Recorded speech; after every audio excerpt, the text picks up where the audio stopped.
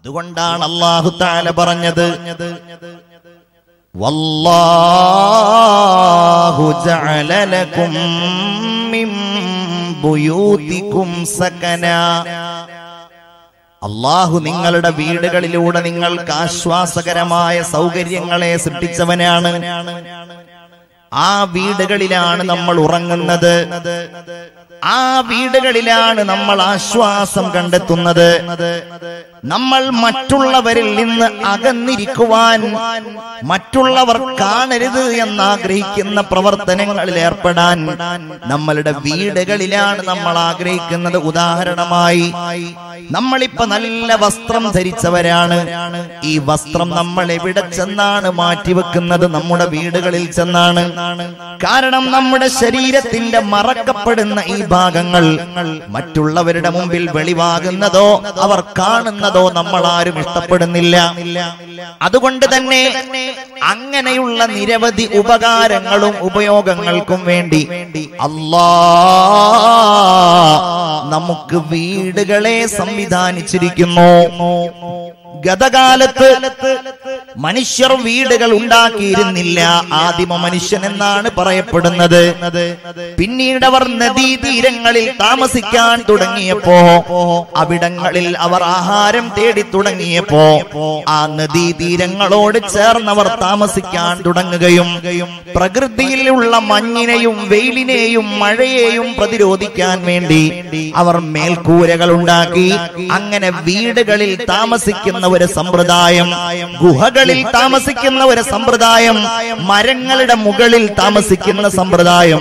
അങ്ങനെ വളർന്ന് വളർന്ന് ഇന്ന് വീടെന്ന് പറയുന്നത് ഒരു വലിയ ലോകമായി വലിയ ഒരു അഭിലാഷമായി മാറിയ ഒരു സ്ഥിതിയിലേക്ക് നമ്മുടെയൊക്കെ ജീവിതം എത്തിച്ചേർന്ന ഒരു കാലഘട്ടത്തിലാണ് ഞാനും നിങ്ങളും ഈ ലോകത്ത് ജീവിക്കുന്നത്.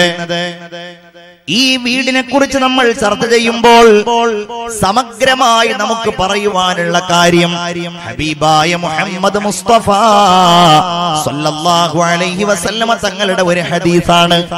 അവിടുന്ന് പറഞ്ഞു മസലുൽ ബൈത്തില്ലദീ ഫീ അള്ളാഹുവിനെ ഓർക്കപ്പെടുന്ന ഒരു വീടിന്റെ ഉപമ. അള്ളാഹുവിനെ ഓർക്കപ്പെടാത്ത ഒരു വീടിന്റെയും ഉപമ. മിസ്ലൽ. അത് ജീവനുള്ളതിനെ പോലെയും ശവത്തെ പോലെയുമാണെന്ന് മുഹമ്മദ് മുസ്തഫ. സല്ലല്ലാഹു അലൈഹി വസല്ലം. ഒരു വീട് സജീവമാകുന്നത് ആ വീട് അള്ളാഹുവിന്റെ ഓർമ്മയിൽ ഉയർന്നു നിൽക്കുമ്പോഴാണ്. ആ വീട്ടുകാർ മുഴുവൻ അള്ളാഹുവിന്റെ സ്മരണ നിലനിർത്തുമ്പോഴാണ്. ആ വീട്ടിൽ നിസ്കാരം നടക്കുമ്പോഴാണ്. ആ വീട്ടിൽ ഖുർആൻ പാരായണം ഉണ്ടാകുമ്പോഴാണ്. ആ വീട്ടിൽ മാതാപിതാക്കൾ ബഹുമാനിക്കപ്പെടുമ്പോഴാണ്. ആ വീട്ടിൽ പ്രിയപ്പെട്ട ഭാര്യയോട് കടപ്പാടുകൾ നിർവഹിക്കപ്പെടുമ്പോഴാണ്. ആ വീട്ടിൽ പ്രിയപ്പെട്ട മക്കളോട് സ്നേഹധന്യമായി പെരുമാറുമ്പോഴാണ് എന്റെ പ്രിയപ്പെട്ടവരെ ആ വീട് ജീവനുള്ള വീടായി മാറുന്നത്. നിങ്ങൾ ചിന്തിച്ചു നോക്കൂ ഇങ്ങനെയുള്ള വീടുകളാണോ നമ്മുടെ വീടുകൾ?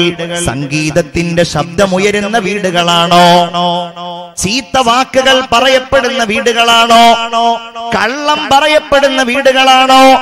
പരസ്പരം മിണ്ടാത്ത സംസാരിക്കാത്ത വീടുകളാണോ? ഭാര്യയും ഭർത്താവും പിണങ്ങിക്കഴിയുന്ന വീടുകളാണോ? പ്രിയപ്പെട്ട ഉമ്മാക്ക് വേണ്ടി പ്രിയപ്പെട്ട വൃദ്ധയായ മാതാവിന് വേണ്ടി വീടിന്റെ പരിസരത്ത് കബർ കുഴിച്ച് ആ മാതാവിന്റെ കുഴിമാടമൊരുക്കിയ മക്കൾ ജീവിക്കുന്ന ഈ കാലഘട്ടത്തിൽ മാതാവും പിതാവും അവഗണിക്കപ്പെടുന്ന വീടാണോ നമ്മുടെ വീടുകൾ? മക്കളെ നേരായ മാർഗത്തിലേക്ക് നയിക്കാത്ത വീടുകളാണോ നമ്മുടെ വീടുകൾ? ഗീബത്തിന്റെയും നമീമത്തിന്റെയും വീടുകളാണോ നമ്മുടെ വീടുകൾ. എങ്കിലാ വീട്. ശവങ്ങൾക്ക് തുല്യമാ. ആ വീടുകൾ നിർജീവമായ വീടുകളാണെന്ന് സയ്യിദുന മുഹമ്മദ് മുസ്തഫ. ഉറക്ക സ്വലാത്ത് ചൊല്ലൂ മുഹമ്മദ് മുസ്തഫ സല്ലല്ലാഹു അലൈഹി വസല്ലം. ഞാൻ ആദ്യം പറഞ്ഞ ഈ അവസ്ഥയിലുള്ളവരായിരുന്നു. അൽഹംദുലില്ലാ പള്ളിപ്പുഴയുടെ ഈ പള്ളിയുടെ പരിസരത്തന്തി ഇറങ്ങുന്ന നമ്മുടെ മുൻഗാമികളെ നാർക്കാണ് പറയാതിരിക്കാൻ കഴിയുക. നമ്മുടെ മരണപ്പെട്ടു പോയ ഉമ്മമാർ നമ്മുടെ മരണപ്പെട്ടു പോയ ഉപ്പമാർ അവരുടെ ജീവിതാവസ്ഥകളെ നമ്മൾ ഓർമ്മയുണ്ടല്ലോ. അവരുടെ കാലത്ത് മൊബൈൽ ഫോണുകൾ ഉണ്ടായിരുന്നില്ല. അവരുടെ കാലഘട്ടത്തിൽ ടി വി ഉണ്ടായിരുന്നില്ല. ഉണ്ടായിരുന്നെങ്കിലും അതിനോടവർ താല്പര്യം കാണിച്ചിരുന്നില്ല. അവർ നിസ്കാരത്തിനും ഇബാദത്തുകൾക്കുമൊക്കെ പുറമെ അവർ മഹാന്മാരായ അമ്പിയാക്കളെ ഓർത്തിരുന്നു. അവർ മൗലിദ് പാരായണം നടത്തിയിരുന്നു. അവർ വിക്റുകൾ ചൊല്ലിയിരുന്നു. അവർ പരിശുദ്ധമായ മാലകൾ പാടിയിരുന്നു. അവർ അള്ളാഹുവിന്റെ പരിശുദ്ധ ഖുർആൻ നിരന്തരമായി പാരായണം ചെയ്തിരുന്നു. അതിന്റെ അനുഗ്രഹമാണ് നമ്മൾ ഇന്ന് അനുഭവിക്കുന്നത്. ആ അനുഗ്രഹമാണ് നമ്മളെ ഉയർത്തിയത്. ആ അനുഗ്രഹത്തിന്റെ വെളിച്ചത്തിൽ നിന്നാണ് നമ്മൾ പുതിയ വീടുകളുടെ ആദ്യത്തെ ശിലപാകി തുടങ്ങിയത്. എന്നാൽ നമ്മുടെ പ്രിയപ്പെട്ട മക്കൾക്ക് അങ്ങനെ ഒരു സന്ദേശം നമ്മുടെ വീടുകളിൽ വെച്ച് നമുക്ക് നൽകാൻ കഴിയാതിരിക്കുമ്പോ നമുക്ക് ആ രീതിയിലുള്ള ഒരു അനുഗ്രഹം ജീവിതത്തിൽ കാണാൻ കഴിയുന്നില്ല. വലിയ വീടുണ്ട് കൊട്ടാരമാണ് പക്ഷെ ആ വീട്ടിൽ സന്തോഷമില്ല. ആ വീട്ടിൽ സമാധാനമില്ല. ആ വീട്ടിൽ പരസ്പരമുള്ള ഇഷ്ടമില്ല. ആ വീട്ടിൽ ഉപ്പ പറഞ്ഞത് മക്കൾ കേൾക്കുന്നില്ല. ആ വീട്ടിൽ ഭാര്യ പറഞ്ഞത് ഭർത്താവ് കേൾക്കുന്നില്ല. ആ വീട് അസമാധാനത്തിന്റെ ഇടമാണ്. അതിന്റെ കാരണം അന്വേഷിച്ചു പോയാൽ രണ്ടാമത്തെ ഒരു ഉത്തരമില്ല. അള്ളാഹുവിന്റെ സ്മരണ നിലനിർത്താത്ത വീട് ലിക്ർ ചെയ്യാത്ത വീട് ഖുർആാനോദാത്ത വീട് തസ്ബീഹ് ചെല്ലാത്ത വീട് നന്മ നിറഞ്ഞ കൽബുകളുമായി അള്ളാഹുവിന്റെ സ്മരണ നിലനിർത്താത്ത വീടുകളാണ്.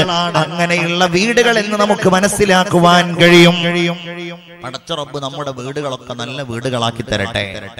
എല്ലാവരും ആമീൻ പറയൂ അള്ളാഹു നമുക്ക് നല്ല വീടുകളെ പ്രദാനം ചെയ്യട്ടെ. ഒരു വീടിന്റെ ഏറ്റവും പ്രധാനപ്പെട്ട സംഗതി എന്ന് പറയുന്നത് ആ വീട് നിൽക്കുന്ന നാടുമായി ബന്ധപ്പെട്ടിരിക്കുന്നു. നമ്മെ സംബന്ധിച്ചിടത്തോളം നമുക്കുള്ള വീടുകളെ നമ്മൾ ആലോചിക്കും നമ്മളൊക്കെ ഏറ്റവും അനുഗ്രഹീതരാണ്. എന്തുകൊണ്ടെന്നാൽ നമ്മുടെ വീട് നിൽക്കുന്ന രാജ്യം ഏതാണ്? ഇന്ദിരാഗാന്ധിയുടെ അടുക്കലേക്ക് ആദ്യത്തെ ഇന്ത്യൻ ബഹിരാകാശ സഞ്ചാരിയായ രാകേഷ് ശർമ്മ വന്നപ്പോൾ അന്നത്തെ പ്രധാനമന്ത്രിയായ ഇന്ദിരാഗാന്ധിയെ കണ്ടപ്പോൾ ഇന്ദിരാഗാന്ധി എന്ന ബുദ്ധിമതിയായ ഇന്ത്യയുടെ ഒരു കാലത്തെ മുന്നോട്ട് ഇന്ത്യയെ നയിച്ചിരുന്ന ഉരുക്കു വനിതയായ ഇന്ദിരാഗാന്ധി ഒരു ചോദ്യം ചോദിച്ചു അദ്ദേഹത്തോട്. എങ്ങനെയുണ്ടായിരുന്നു? ബഹിരാകാശത്ത് നോക്കുമ്പോൾ നമ്മുടെ നാട്. കാണട്ടെ കാണാതിരിക്കട്ടെ. അതിനദ്ദേഹം പറഞ്ഞ മറുപടി സാരേ ജഹാസെ ഹിന്ദു സിതാഹമാരാ.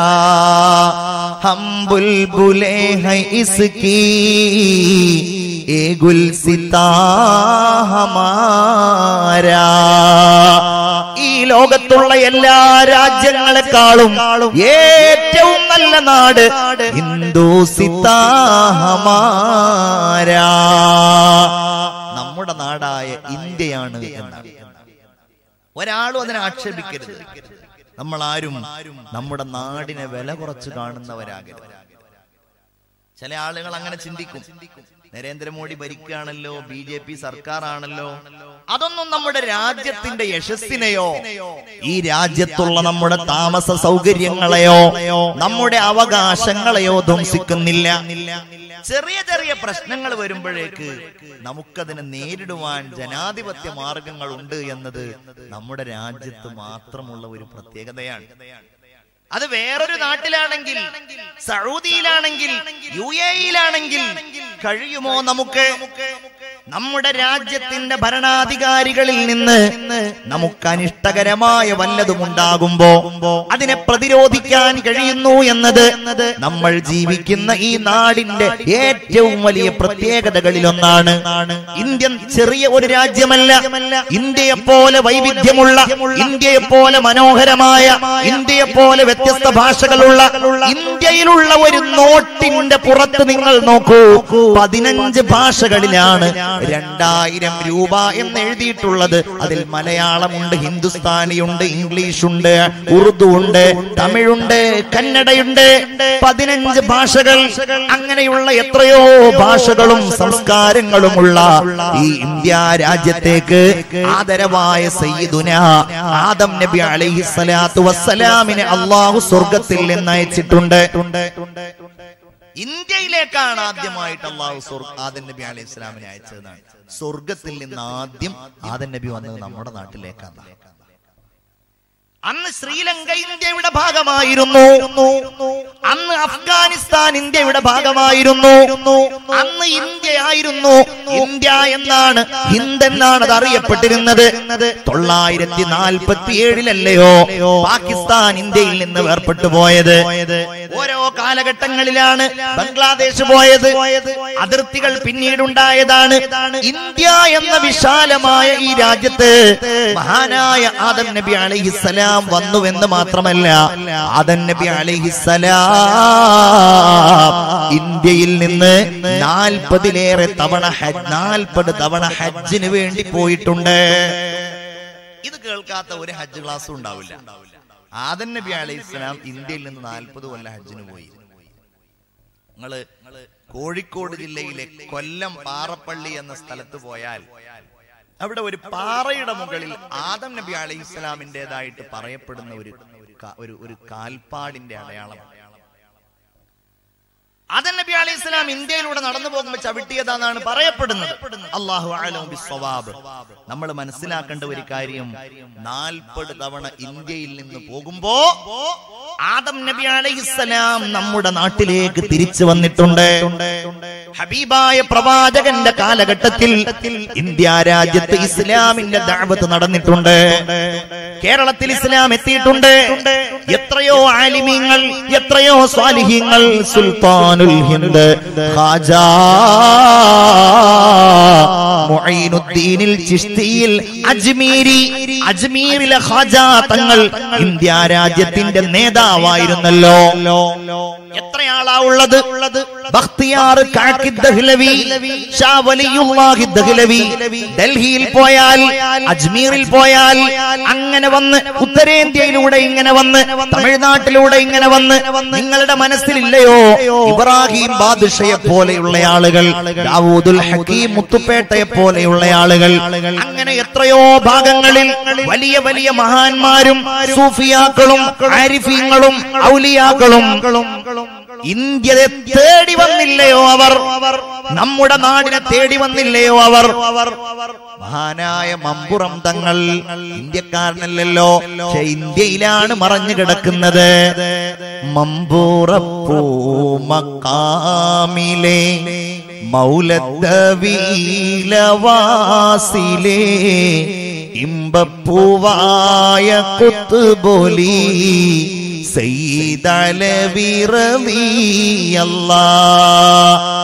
യമനിലെ ഹദർ മൗത്തിലെ തെരീം എന്ന സ്ഥലത്ത് നിന്നാണ് മഹാനായ മമ്പുറം തങ്ങൾ ഇന്ത്യയിലേക്ക് വന്നിട്ടുള്ളത്. ഇവരൊക്കെ ഇന്ത്യയെ തേടി വന്നു.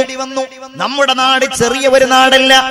ഈ കാസർഗോഡ് ജില്ലയിലൂടെ നിങ്ങൾ പോയാൽ ഓരോ നാട്ടിലും ഓരോ മഹാന്മാരാണ് സയ്യിദുമാരാണ് പണ്ഡിതന്മാരാണ്.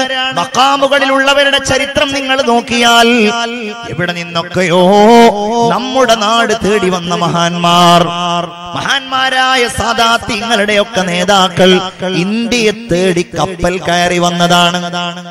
അപ്പൊ നമ്മുടെ നാടെന്തല്ല? ഒരു ചെറിയ നാടല്ല ഒരു ചീത്ത നാടല്ല. നല്ല നാടാണ് അഭിമാനത്തിന്റെ നാടാണ് യശസ്സിന്റെ നാടാണ്. എല്ലാവരുടെയും മുമ്പിൽ അഭിമാനത്തോടെ പറയാൻ കഴിയുന്ന നാടാണ് ആ നാട്ടിലാണ് നമ്മുടെ വീടുള്ളത്. അല്ലാതെ പടച്ചവനെ നമ്മളൊക്കെ ഇന്ത്യക്കാരായി പെട്ടുപോയി.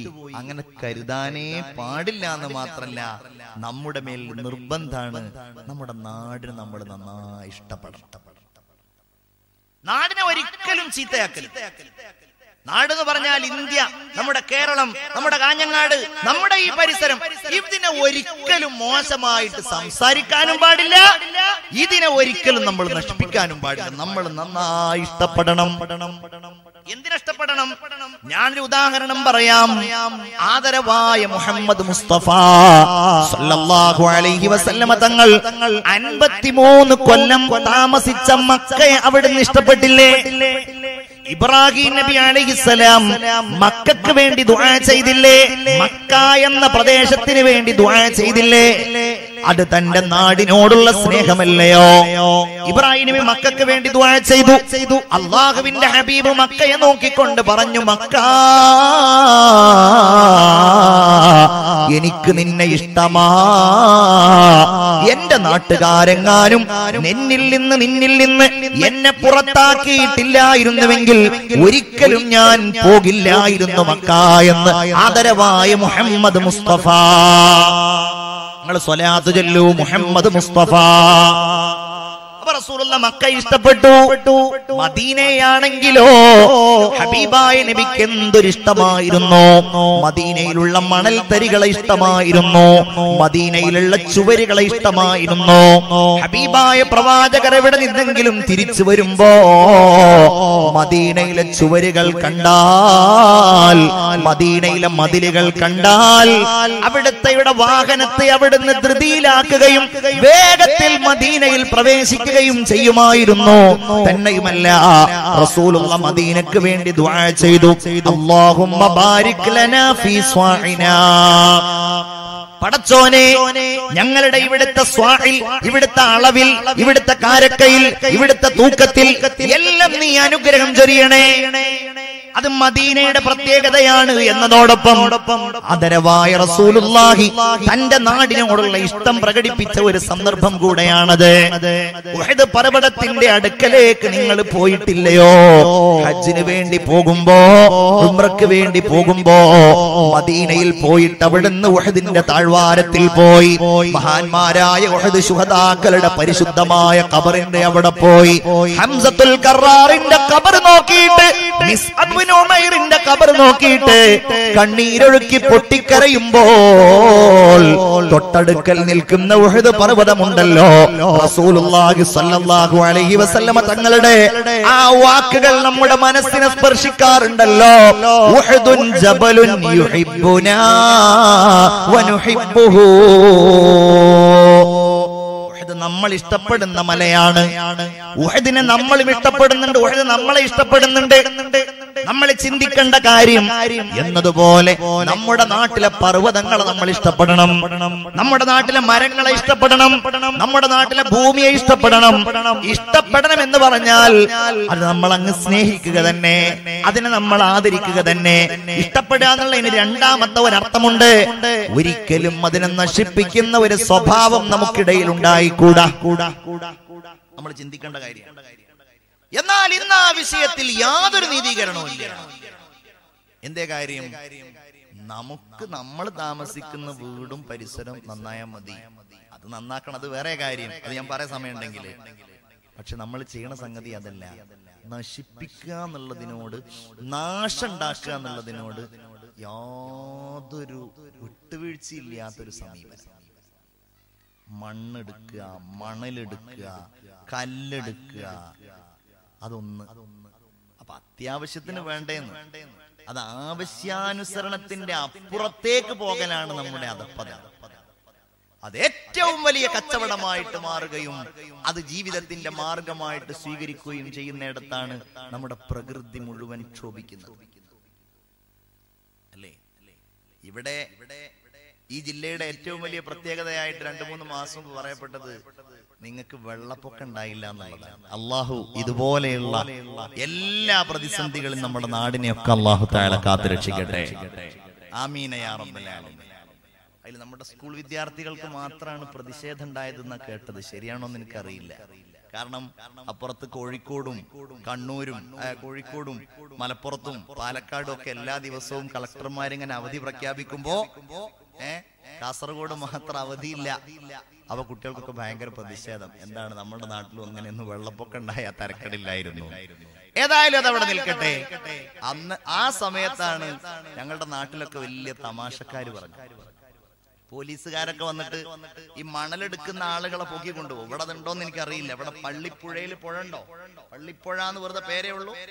പുഴ ഉണ്ട് ചെറിയൊരു പുഴ ഉണ്ട് ആ. ചെറിയ പുഴ ഉണ്ട് അപ്പൊ ഏതായാലും എന്താണ് ഈ മണലെടുക്കുന്ന ആളുകളോടൊക്കെ ഞങ്ങളുടെ നാട്ടിലൊക്കെ തമാശയായിട്ട് പറയാണ്. പോലീസുകാർ അവരൊക്കെ അഭിനന്ദിച്ചു എന്ന്. കാരണം പുഴയെന്ന് മണലെടുത്ത് മണലെടുത്ത് നല്ല കുഴിയായതുകൊണ്ട് ആ വെള്ളപ്പൊക്കത്തിന്റെ ആഘാതം ഒന്ന് കുറഞ്ഞു എന്നാണ്. ആ മണലുകളെങ്ങാനും പുഴയിലുണ്ടെങ്കിൽ വെള്ളം വീണ്ടും ഉയരുമായിരുന്നു എന്നാ പറയുന്നത്. അതൊക്കെ എവിടെയെങ്കിലും കിട്ടുന്ന ഒരു ഒരു ഒരു ചാൻസ് ആണെന്നുള്ളതിലപ്പുറം മണലെടുത്ത് മണ്ണെടുത്ത് കുന്നുകൾ എടുത്ത് മരങ്ങൾ നശിപ്പിച്ച് നമ്മുടെ നാടിനെ നശിപ്പിക്കാൻ നമ്മൾ കൂട്ടു നിൽക്കരുത്. അതിൽ പ്രധാനപ്പെട്ട ഒരു സംഗതിയാണ്. അത് നമ്മൾ മനസ്സിൽ തന്നെ മനസ്സിൽ അത് വളരെ കർശനമായി പാലിക്കേണ്ട ഒന്നാണ്. രണ്ട് ഒരു കാരണവശാലും പരിസരങ്ങൾ വൃത്തികേടാക്കാൻ നമ്മൾ നിൽക്കരുത്. നമ്മളുടെ വീട്ടിൽ ഒരു കല്യാണം ഉണ്ടായി. ആ കല്യാണത്തിന് എത്രയോ കിലോ കണക്കിന് വേസ്റ്റുകൾ ഉണ്ടാവും. ആ വേസ്റ്റുകൾ മുഴുവൻ രാത്രി ഒരു മണി സമയത്താണ് വീടിന്റെ പുറത്തേക്ക് നമ്മൾ കൊണ്ടുപോകുക എന്തിന്? ആരും കാണാതെ എവിടെയെങ്കിലും ഒരു സ്ഥലത്ത് നിക്ഷേപിക്കാൻ. അതും ചില ആളുകൾ ചെയ്യുന്ന ക്രൂരത. കാസർഗോഡത്തെ ആളുകളൊക്കെ സന്മനസ്സുള്ളവരായതുകൊണ്ട് ഇതൊക്കെ നിങ്ങൾക്ക് ഒരു അപസർപ്പ കഥകൾ പോലെ തോന്നുന്നുണ്ടോ എന്ന് എനിക്കറിയില്ല. കുറഞ്ഞ ഒഴുകണുണ്ടാവും ഏതെങ്കിലും പുഴയുടെ സൈഡോ പാടത്തിന്റെ സൈഡോ അവിടെ കൊണ്ടുപോയിട്ടുള്ളൂ എന്തൊരു ക്രൂരതയെന്നറിയോ?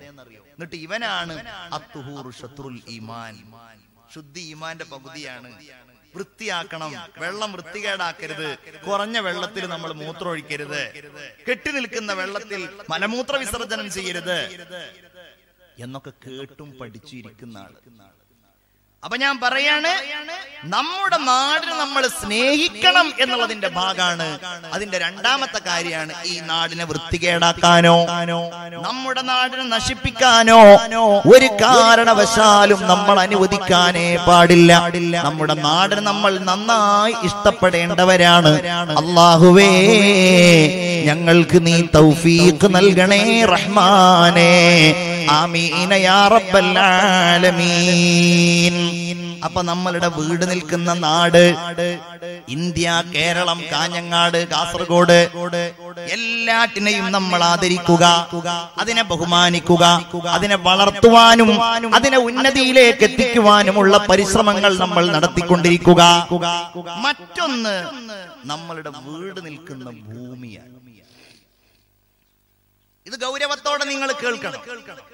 ഒരു വീട് നിൽക്കുന്ന ഭൂമി ഏറ്റവും മനോഹരമാകുന്നതും അത് ഭംഗിയാകുന്നതും ആ വീട് ആ ഭൂപ്രദേശം മൃഗങ്ങൾക്ക് ഇഷ്ടമുള്ള പ്രദേശമാകുമ്പോഴാണ് എന്ന് പണ്ഡിതന്മാർ വിവരിച്ചതായിട്ട് കാണാൻ കഴിയും. ഉദാഹരണം. പരിശുദ്ധ ഹബീബ് സല്ലല്ലാഹു അലൈഹി വസല്ലം മദീനയിലേക്ക് വരികയാണ്. മദീനയിൽ ആബാലവൃന്ദം ജനങ്ങൾ നബിയെ കാണാൻ വേണ്ടി കാത്തു നിൽക്കുകയാണ്. പരിശുദ്ധ റസൂൽ കുബാ പള്ളിയുടെ സമീപത്ത് നിന്ന് മൂന്ന് ദിവസം അവിടെ താമസിച്ച് പരിശുദ്ധമായ യസ്രിബിന്റെ ഉൾപ്രദേശത്തേക്ക് പോവുകയാണ്. റസൂലിനെ ഓരോരുത്തരും വിളിച്ചു നബിയേ എന്റെ വീട്ടിലങ്ങ് താമസിക്കണേ. എന്റെ വീട്ടിൽ അങ്ങ് കിടക്കണേ. അള്ളാണ്ട് റസൂൽ പറഞ്ഞ വർത്തമാനം എന്താണ്? എന്റെ ഒട്ടകത്തിനറിയാം ഞാൻ എവിടെയാണ് പാർക്കേണ്ടത് എന്ന്.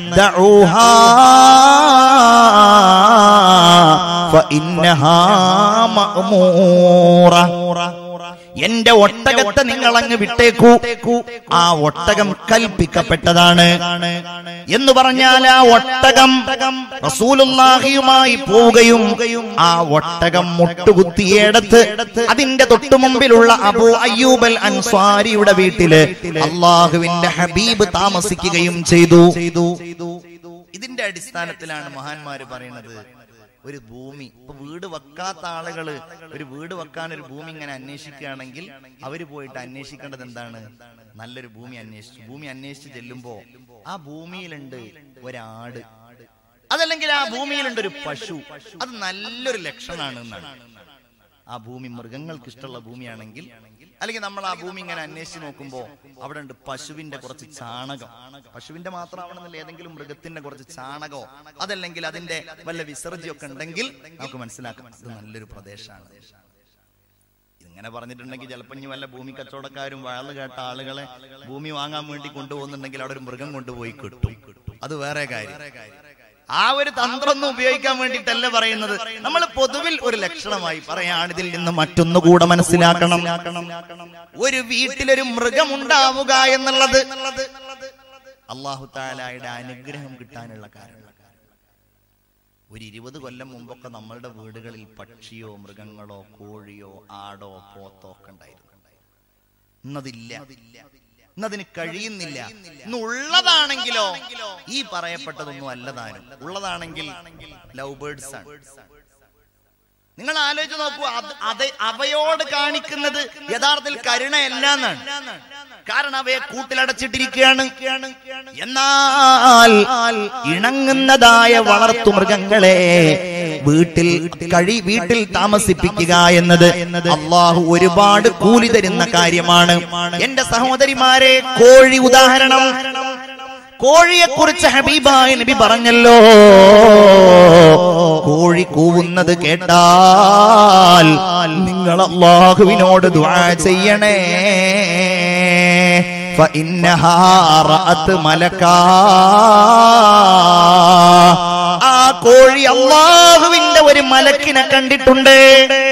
നമ്മൾ ആ കോഴിക്ക് ആഹാരം കൊടുക്കുമ്പോ സംഭവിക്കുന്ന മറ്റൊരു കാര്യം എന്താണെന്നറിയോ ഒരു ജീവിക്ക് ആഹാരം കൊടുക്കുന്നതിന് അള്ളാഹു താല കൂലി തരുന്നതാണ്.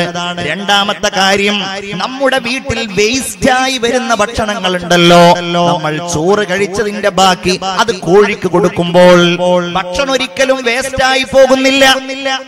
ഭക്ഷണം പാഴായി പോകുന്നില്ല.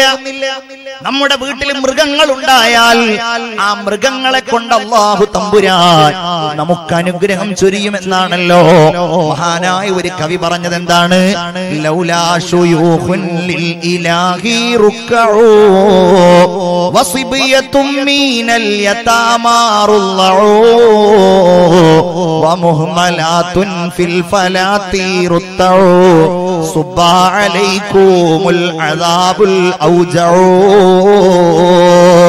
അല്ലയോ മനുഷ്യരെ ഈ ഭൂമിയിൽ വൃദ്ധരായ ആളുകളില്ല എങ്കിൽ മുല കുടിക്കുന്ന നിഷ്കളങ്കരായ കുഞ്ഞുങ്ങളില്ല എങ്കിൽ മരുഭൂമികളിലും പ്രദേശങ്ങളിലും മേഞ്ഞു നടക്കുന്ന മൃഗങ്ങളില്ല എങ്കിൽ നിങ്ങൾ ചെയ്യുന്ന പാപങ്ങൾക്കനുസൃതമായി അള്ളാഹു റബ്ബുൽ നിങ്ങളുടെ മേലിൽ ശിക്ഷകൾ ചൊരിക്കുമായിരുന്നു.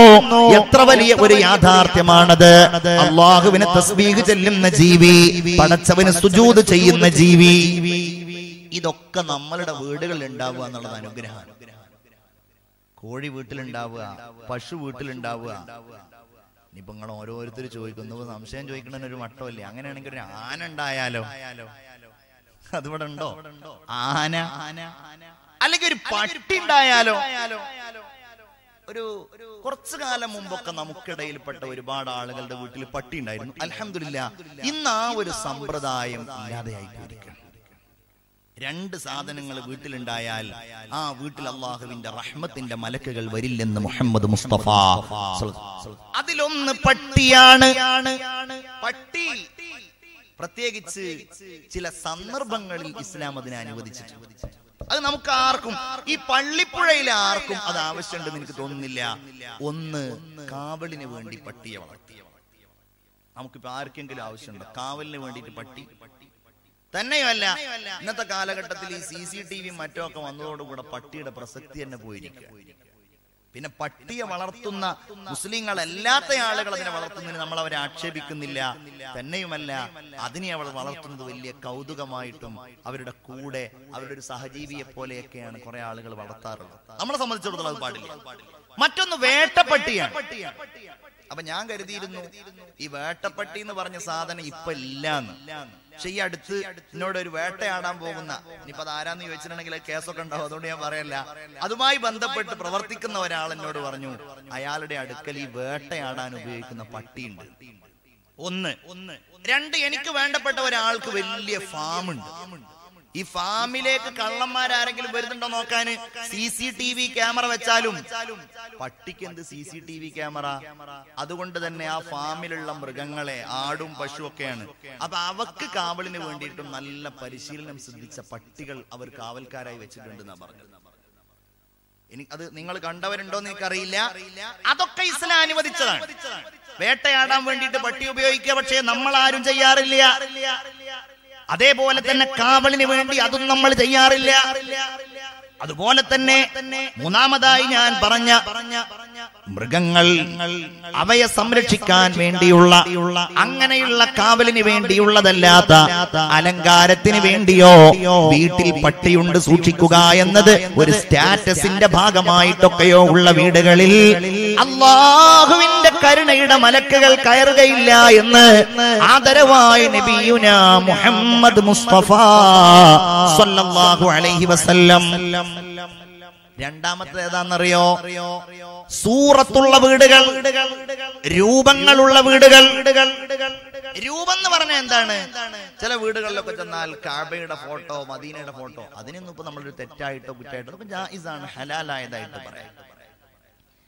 അതേ സമയത്ത് ഉദാഹരണമായിട്ട് ഞാനൊരു വീട്ടിലേക്ക് ചെന്നപ്പോ ആ വീടിന്റെ ഷോക്കേസിൽ നിറയെ രൂപങ്ങളുണ്ട് പ്രതിമകളുണ്ട്. ഒരമ്മ ഒരു കുട്ടിയെ എടുത്തിരിക്കുന്ന ഒരു രൂപം ഉദാഹരണം. അതുപോലെ തന്നെ ഈജിപ്തിൽ പോയ ആളുകളുണ്ട്. ഈജിപ്തിൽ പോയ ആളുകൾ ഈജിപ്തിൽ പോയ ആരെങ്കിലും ഉണ്ടെങ്കിൽ ഒന്ന് കൈപൊക്കിക്കേ ഒരാളുമില്ല ഈജിപ്തിൽ പോയ ആളുകൾ. ഒരാളുമില്ല. ഏതായാലും അള്ളാഹു താല അവിടെയൊക്കെ പോകാൻ നിങ്ങൾക്ക് തൗഫീഖ് ചെയ്യട്ടെ. ഈജിപ്തിലൊക്കെ പോയിട്ടുണ്ടെങ്കിൽ അവിടുന്ന് കിട്ടുന്ന ചില സാധനങ്ങൾ ഒരുപാട് പ്രതിമകൾ കിട്ടും. കാരണം ഈജിപ്തിലെ കൈറോയിലെ മ്യൂസിയത്തിൽ ലക്ഷക്കണക്കിന് വരുന്ന അയ്യായിരം നാലായിരം കൊല്ലങ്ങൾക്ക് മുമ്പുള്ള പ്രതിമകൾ അവിടെ ഉണ്ട് വലിയ മമ്മി. അപ്പൊ ഈ മമ്മിയുടെ പ്രതിമകൾ കിട്ടും. അപ്പൊ നമ്മൾ നമ്മൾ ഈ സഞ്ചരിക്കുന്ന ആളുകൾ ചില നാടുകളിലൊക്കെ പോയാൽ അത് ഞാൻ അവിടുന്ന് വാങ്ങിയ സാധനമാണ് ഗ്ലോബ് എന്ന് അതിന് ഇംഗ്ലീഷിൽ പറയും. ഓരോ നാടിന്റെയും ഗ്ലോബ് എന്ന് പറയും. തായ്ലൻഡ് പോയാൽ തായ്ലൻഡിന്റെ ഒരു ഗ്ലോബ്. ഇപ്പൊ ഇന്ത്യയിൽ നിന്ന് പുറത്തു പോകുന്ന ഒരാൾ താജ്മഹലിന്റെ രൂപമായിട്ട് പോകും. കാസർഗോഡ് സന്ദർശിക്കാൻ വേണ്ടി വന്നിട്ടുണ്ടെങ്കിൽ നമ്മളുടെ ബേക്കൽ ഫോർട്ടിന്റെ രൂപമായിട്ട് പോകും. അത് ഞാൻ ഉദാഹരണം പറഞ്ഞാണ് അങ്ങനത്തെ രൂപം കിട്ടുമെന്ന് എനിക്ക് അറിയില്ല ബേക്കൽ ഫോർട്ടിന്റെ ഒരു രൂപയിൽ ഒരു ചിത്രോ അതല്ലെങ്കിൽ അതിന്റെ ഒരു ഉണ്ടാക്കിയ രൂപമായിട്ട് പോകും. എന്നിട്ട് അവരവരുടെ സ്വീകരണ മുറികളിൽ കൊണ്ടുപോയിട്ടൊക്കെ ഞാൻ ഇന്ന സ്ഥലം സന്ദർശിച്ചിട്ടുണ്ട്. ഞാൻ താജ്മഹലിൽ സന്ദർശിച്ചിട്ടുണ്ട്. ഇയാളുടെ വീട്ടിൽ പോയപ്പോ നിറയെ പ്രതിമകളാണ്. ഈ ചില ആളുകളുടെ വീട്ടിൽ പോയാൽ ഷോക്കേസിൽ ഇരിക്കുന്നത് കാണാം. വലിയ വലിയ ബൊമ്മകൾ. കാറുകളിൽ ബൊമ്മകൾ വെക്കുന്നവരുണ്ട്. അത് അള്ളാഹുവിന് ഇഷ്ടമുള്ളതല്ല. പടച്ചതമ്പുരാൻ ഇഷ്ടമുള്ളതല്ല. കുഞ്ഞുങ്ങൾക്ക് കളിക്കാൻ വേണ്ടി കളിപ്പാട്ടമായിട്ട് ഉപയോഗിക്കൽ ജായിസാണ് പക്ഷേ അലങ്കാരത്തിന് വേണ്ടിയോ അതല്ലാത്ത രൂപങ്ങളിൽ ആസ്വാദനത്തിന് വേണ്ടിയോ അത്തരം പ്രതിമകളോ ചിത്രങ്ങളോ ഒന്നും നമ്മൾ റൂമുകളിലോ വീടുകളിലോ വെക്കൽ നല്ലതല്ല. പ്രതിമകൾ എന്നാ പറഞ്ഞത്? ഫോട്ടോകൾ എന്നല്ല. ഫോട്ടോ എടുക്കലും അത് സൂക്ഷിക്കലും ഒക്കെ മഹാന്മാരായ ഉലമാ സംഗതിയാണ് ഹലാലാക്കിയ സംഗതിയാണ്. എന്നാൽ രൂപങ്ങളെ കുറിച്ചാ പറഞ്ഞത്. കട്ടൗട്ട് പോലെ ഉണ്ടാക്കുക. അതല്ലെങ്കിൽ ഇങ്ങനെ രൂപങ്ങൾ വല്ല പ്ലേറ്റിലൊക്കെ ആയിട്ട് ഇങ്ങനെ തെങ്ങി തെന്നി നിൽക്കുന്നത് പോലെ തെറിച്ചു നിൽക്കുന്നത് പോലെ ഉണ്ടാക്കുക. മുസ്ലിം സമൂഹത്തിന്റെ വീടുകൾ അതിന്റെ രൂപങ്ങളല്ല. പ്രത്യേകിച്ച് പഴയ പോലെയല്ല. പുതുതായിട്ട് ഉണ്ടാക്കുന്ന വീടുകൾക്ക് വലിയ മോഡിഫിക്കേഷൻ അനിവാര്യമായിട്ട് വരാറുണ്ട്. അതിങ്ങനെ ഭംഗിയാക്കും. ഇന്റീരിയർ ഡിസൈൻ ചെയ്യും. അപ്പൊ ചിത്രങ്ങളും അതുപോലെ ഇതുപോലുള്ള കലാപരമായിരിക്കുന്ന സംഗതികൾക്കൊക്കെ വേണ്ടിയിട്ട് പ്രത്യേക അറേഞ്ച്മെന്റ്സ് ഒക്കെ ചെയ്യുമ്പോ നിങ്ങളോട് ഞാൻ പറയാണ് അത്തരം കാര്യങ്ങൾക്ക് നമ്മൾ നിൽക്കരുത്. ടൈലിന്റെ പുറത്തൊക്കെ ഉണ്ടാവും രൂപങ്ങൾ അതിനൊന്നും നമ്മൾ നിൽക്കരുത്. ഗൗരവത്തോടെ നമ്മൾ ഇത്തരം കാര്യങ്ങൾ ശ്രദ്ധിക്കണം. അള്ളാഹുവിന്റെ റഹ്മത്തിന്റെ മലക്കുകൾ അങ്ങോട്ടൊന്നും കടക്കുകയില്ലെന്ന് നബിയുന സയ്യിദുനാ മുഹമ്മദ് മുസ്തഫ സല്ലല്ലാഹു അലൈഹി വസല്ലം. എന്റെ പ്രിയപ്പെട്ട മുഅ്മിനീങ്ങളെ അള്ളാഹു തമ്പുരാൻ നമുക്ക് നൽകിയ വീടുകൾ നിൽക്കുന്ന ഭൂമി ആ നാട്. ഇത് കഴിഞ്ഞാൽ ഒരു വീടിന്റെ ഏറ്റവും വലിയ മഹത്വം ആ വീടിന്റെ അയൽവാസികളാണ്. ഓ ഇത് കേൾക്കാനാണ് കുറെ കാലം ഞങ്ങൾ കാത്തിരിക്കുന്നത്. എന്തേ കാര്യം? അയൽവാസി ഞങ്ങളുടെ അയൽവാസി എങ്ങനെയാണ് ഞങ്ങളോട് പെരുമാറേണ്ടതെന്ന് കേൾക്കട്ടെ? അല്ല കേട്ടോ. നിങ്ങൾ നിങ്ങളുടെ അയൽവാസിയോട് ഇങ്ങനെ പെരുമാറുണ്ടോ നിങ്ങൾ ചിന്തിക്കണം. നമ്മളുടെയൊക്കെ സ്വഭാവം അങ്ങനെയാണ്. ഇപ്പൊ ഞാൻ പറയാണ് ഒരാൾ മരിച്ചു നിങ്ങൾ സങ്കല്പിക്കാൻ പറഞ്ഞാൽ വേഗം അടുത്ത ആളെ സങ്കല്പിക്കും. അവനാനെ സങ്കല്പിക്കൂല. ഇതാണ് നമ്മളുടെയൊക്കെ സ്വഭാവം. എന്തെങ്കിലും ഒരു അപകടം ഉണ്ടായി അവനാനല്ല അടുത്ത ആൾക്ക്. എന്നതുപോലെ നമ്മൾ ഗൗരവത്തോടെ ചിന്തിക്കണം. എന്റെ അയൽവാസി എന്നോട് ഇങ്ങോട്ട് പാലിക്കേണ്ട മര്യാദയെ കുറിച്ചല്ല ഞാൻ പഠിക്കേണ്ടത്. ഞാൻ എന്റെ അയൽവാസി എന്റെ വീട് നിലനിൽക്കുന്നതിന്റെ ചുറ്റുഭാഗത്തുള്ളവരോട്. ഇസ്ലാമിൽ ആരാണ് അയലത്ത് വസിക്കുന്നവൻ? നാൽപ്പത് വീടുകളാ. വലതുഭാഗത്തേക്ക് നാൽപ്പത് വീടുകൾ ഇടതുഭാഗത്തേക്ക് നാൽപ്പത് വീടുകൾ മുന്നിലും പിന്നിലും നാൽപ്പത് വീടുകൾ. എത്ര വീടുകളായപ്പോ? നൂറ്റി അറുപത് വീടുകളായില്ലേ? നൂറ്റി അറുപത് വീടുകൾ അയൽപക്കത്തുള്ള വീടുകൾ.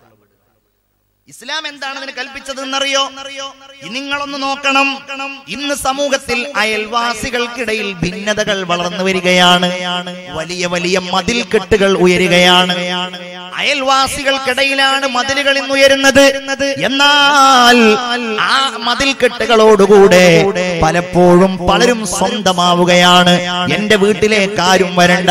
ഞാൻ അവന്റെ വീട്ടിലേക്കും ചെല്ലുന്നില്ല. ശരിയാണ് ഉപദ്രവം ഉണ്ടാകുന്നില്ല പക്ഷേ അതല്ലല്ലോ. നമ്മുടെ ബാധ്യത.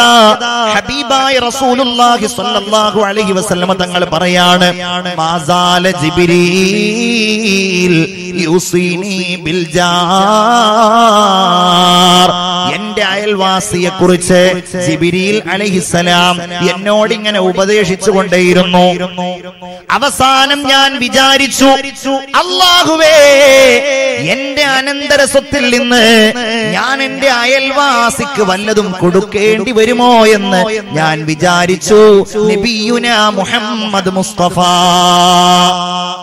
എല്ലാരും സ്വലാത്ത് ചൊല്ലൂ മുഹമ്മദ് മുസ്തഫ.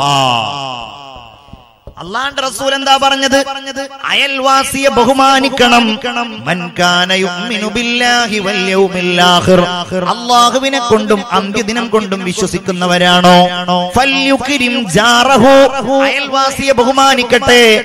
നിന്റെ വീട്ടിലേക്ക് നീ വല്ല മിഠായിയോ നീ വല്ല പഴങ്ങളോ കൊണ്ടുവരികയാണ് എങ്കിൽ ഒരിക്കലും അതിന്റെ തൊലികൾ നീ നിന്റെ വീടിന്റെ പുറത്തിടാൻ പാടില്ല. കാരണം അയൽവാസിയുടെ കുഞ്ഞുങ്ങൾ വന്നാൽ അവർക്കത് വിഷമമാകും. എന്റെ പ്രിയപ്പെട്ടവരെ ഹബീബായി നബി എന്താ പറഞ്ഞത്? നീ നിന്റെ വീട്ടിൽ വല്ല ഭക്ഷണവും വല്ല കറിയും പാകം ചെയ്താൽ. നീ അതിൽ കറിയിലുള്ള വെള്ളം കുറച്ച് വർദ്ധിപ്പിക്കണേ. കുറച്ച് വെള്ളം അതിൽ കൂട്ടണേ. എന്നിട്ട് നീ അയൽവാസിക്ക് കൊടുക്കണേ. ഇന്നത്തെ കാലഘട്ടത്തിൽ അതൊരു ആവശ്യമായിട്ടൊന്നും ഉണ്ടാവില്ല. അതേ സമയത്ത് ഞാൻ പറയാണ് നമ്മൾ ആ ഹദീസിനോട് നീതി പുലർത്തണം. എങ്ങനെ? വീട്ടിൽ പായസം ഉണ്ടാക്കാന്ന് വിചാരിക്കുക. അല്ലെങ്കിൽ വീട്ടിൽ സ്പെഷ്യൽ അതാദ്യം നമ്മളൊന്ന് ടെസ്റ്റ് ചെയ്തിട്ട് കൊണ്ടുപോയി കൊടുത്താൽ മതി. അല്ലെങ്കിൽ അയൽവാസിക്ക് ശിക്ഷയാകും. അത് വേറെ കാര്യം. നമ്മൾ നല്ല ടേസ്റ്റ് ഉണ്ടെന്ന് വിചാരിച്ച് പായസം ടെസ്റ്റ് ചെയ്യാതെ കൊണ്ടുപോയി കൊടുത്താൽ അയ്യോ ഇങ്ങനെ ശിക്ഷിക്കണമെന്ന് ചോദിക്കും അയൽവാസി. പക്ഷെ അതല്ല നമ്മൾ എന്ത് നല്ലത് ഉണ്ടാക്കുകയാണെങ്കിലും ഒന്ന് അയൽവാസിക്ക്. ഒരു കാര്യമുണ്ട്.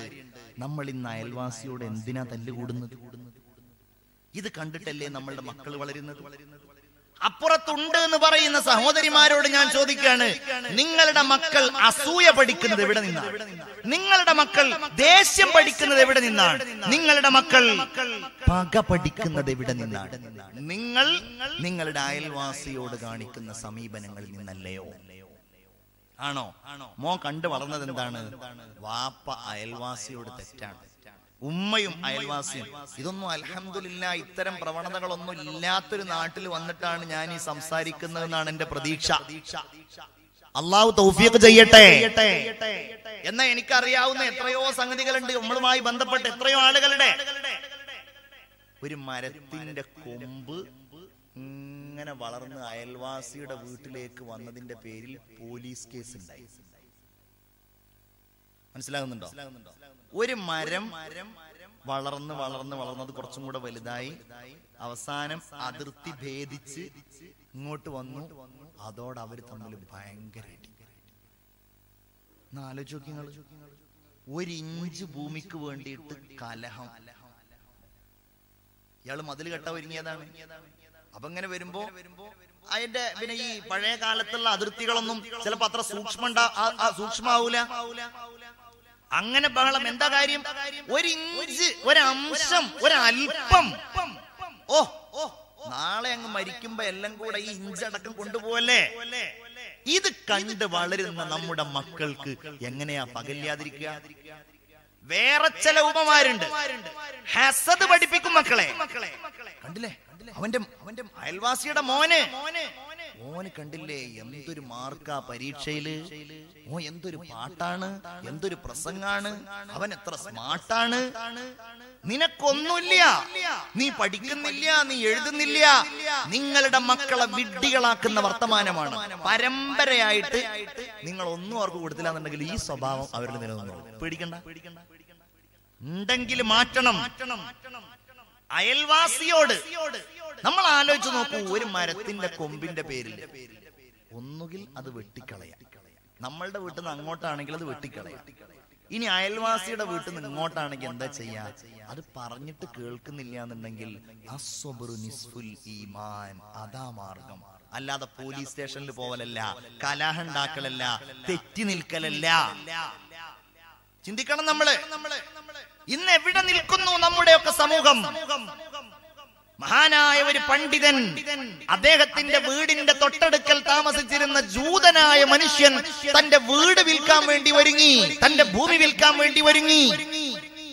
ഒരുങ്ങിയപ്പോ സാധാരണ ആ നാട്ടിലുള്ള ഭൂമിയുടെ വിലയേക്കാൾ ഇരട്ടി വില പറയാൻ ആളുകൾ ചോദിച്ചു ഇതെന്താ ഇത്ര വലിയ വില? അവ പറഞ്ഞു ആ ഭൂമിക്ക് എങ്ങനെ വില കൂടാതിരിക്കും? അപ്പൊ നമ്മളുടെ നാട്ടിലൊക്കെ എങ്ങനെയാണ് ഭൂമിക്ക് വില കൂടുക അടുത്ത് റോഡുണ്ട്. ഇപ്പൊ റോഡ് ഉണ്ടെങ്കിൽ കുറച്ച് വില കുറയട്ടെ. കാരണം എപ്പോഴാ റോഡ് വീതി കൂടുക അറിയില്ല. റോഡുണ്ട് തോടുണ്ട് പള്ളിയുണ്ട് അതുപോലെ മദ്രസ ഉണ്ട് ഇങ്ങനെയൊക്കെ പറഞ്ഞിട്ടാണല്ലോ. ഈ മനുഷ്യൻ പറയാണ് ആ ഭൂമിക്ക് വില കൂടാനുള്ള കാരണം എന്താണെന്നറിയോ? അതിന്റെ തൊട്ടടുക്കൽ താമസിക്കുന്നത് ഈ മഹാനായ മനുഷ്യനാണ്. പള്ളിപ്പുഴയിലെ ഈ മജിലിസിലിരിക്കുന്ന മുഅ്മിനീങ്ങളെ നമുക്ക് പറയാൻ കഴിയോ? എന്നെ കുറിച്ച് എന്റെ അയൽവാസി അങ്ങനെ പറയുമെന്ന് നമ്മുടെ ശല്യം കാരണം വീട് വിട്ടു പോകുന്ന അയൽവാസികൾ ഉണ്ടാവരുത്. നമ്മൾ പ്രത്യേകിച്ച് ഞാൻ ഒന്നുകൂടെ പറയാം. നമ്മളുടെയൊക്കെ ഒരു ജീവിത രീതി പ്രകാരം അയൽവാസിയോ അയൽവാസി എന്നുള്ള ബന്ധത്തോടൊപ്പം കുടുംബ ബന്ധം എന്നൊരു ബന്ധം കൂടെ ഉണ്ടാവും. ഇല്ലേ? ജ്യേഷ്ഠന്റെ വീട് അനുജന്റെ വീട്. എല്ലാം തൊട്ടടുക്കൽ അടുക്കൽ ഇങ്ങനെ ഉണ്ടാവും. ജ്യേഷ്ഠന്റെ വീട് ഇത് അനുജന്റെ വീട് അത്. ഖുർആൻ പറയുന്നു അവരോട് രണ്ട് ബാധ്യതയുണ്ട്. എന്താണ്? വൽജാരിദിൽ ഖുർബാ. കുടുംബ ബന്ധമുള്ള അയൽവാസി ജ്യേഷ്ഠൻ അനുജൻ സഹോദരൻ വാപ്പായുടെ സഹോദരൻ അങ്ങനെയുള്ള വലിയ ബന്ധങ്ങളുണ്ടല്ലോ. അവനോട് രണ്ട് ബാധ്യതയാണ്. അയൽവാസി എന്ന് പറഞ്ഞാൽ ബന്ധമില്ലാത്ത അയൽവാസി കുടുംബ ബന്ധമില്ലാത്ത അയൽവാസി. ഇയാളോട് അയൽവക്കത്തെ ബന്ധവും അതുപോലെ കുടുംബ ബന്ധവും നീ പാലിക്കണമെന്നാണ് പരിശുദ്ധ ഖുർആനിൽ അള്ളാഹു തമ്പുരാൻ പറയുന്നത്. ഇസ്ലാമിന്റെ ദർശന പ്രകാരം നീ അയൽവാ നീ വീട് പണിയുമ്പോ നിന്റെ അയൽവാസിയുടെ വീടിന് ഒരു പ്രയാസമുണ്ടാകുന്ന രീതിയിൽ കാറ്റ് തടയുന്ന വീടിൽ രീതിയിൽ നീ വീട് പണിയാൻ പാടില്ല. ചിന്തിക്കണം. നമ്മൾ കാരണം നമ്മുടെ അയൽവാസിക്കും കൂടെ സമൃദ്ധി ഉണ്ടാകണം. നമ്മൾ കാരണം നമ്മുടെ ചുറ്റുപാടുകളിലുള്ളവർക്ക് സന്തോഷമുണ്ടാകണം. നമ്മൾ കാരണം പടച്ചോനെ ഇവന്റെ അടുക്കലാണല്ലോ ഞാൻ താമസിക്കുന്നത്. അങ്ങനെ ഉണ്ടാവാൻ പാടില്ല. ഹബീബായ മുഹമ്മദ് മുസ്തഫ സല്ലല്ലാഹു അലൈഹി വസല്ലമ തങ്ങൾ പറയുകയാണ് അർബഉം മിൻ സആദത്തിർ റജുലി. ഒരു മനുഷ്യന്റെ ഒരു മനുഷ്യന്റെ ഭാഗ്യം സൗഭാഗ്യം നാലെണ്ണമാണ്.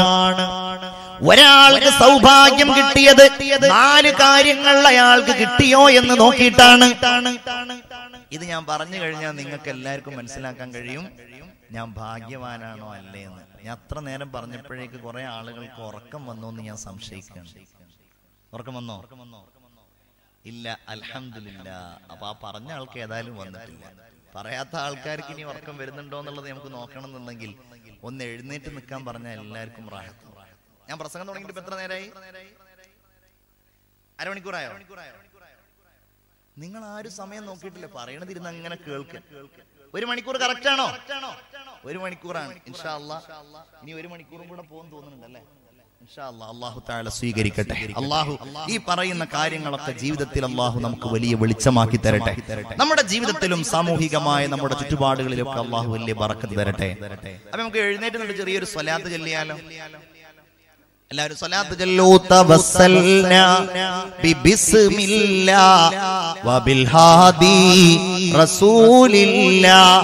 വകുല്ലി മുജാഹിദിൻ വഅഹ്ലിൽ ബദരിയ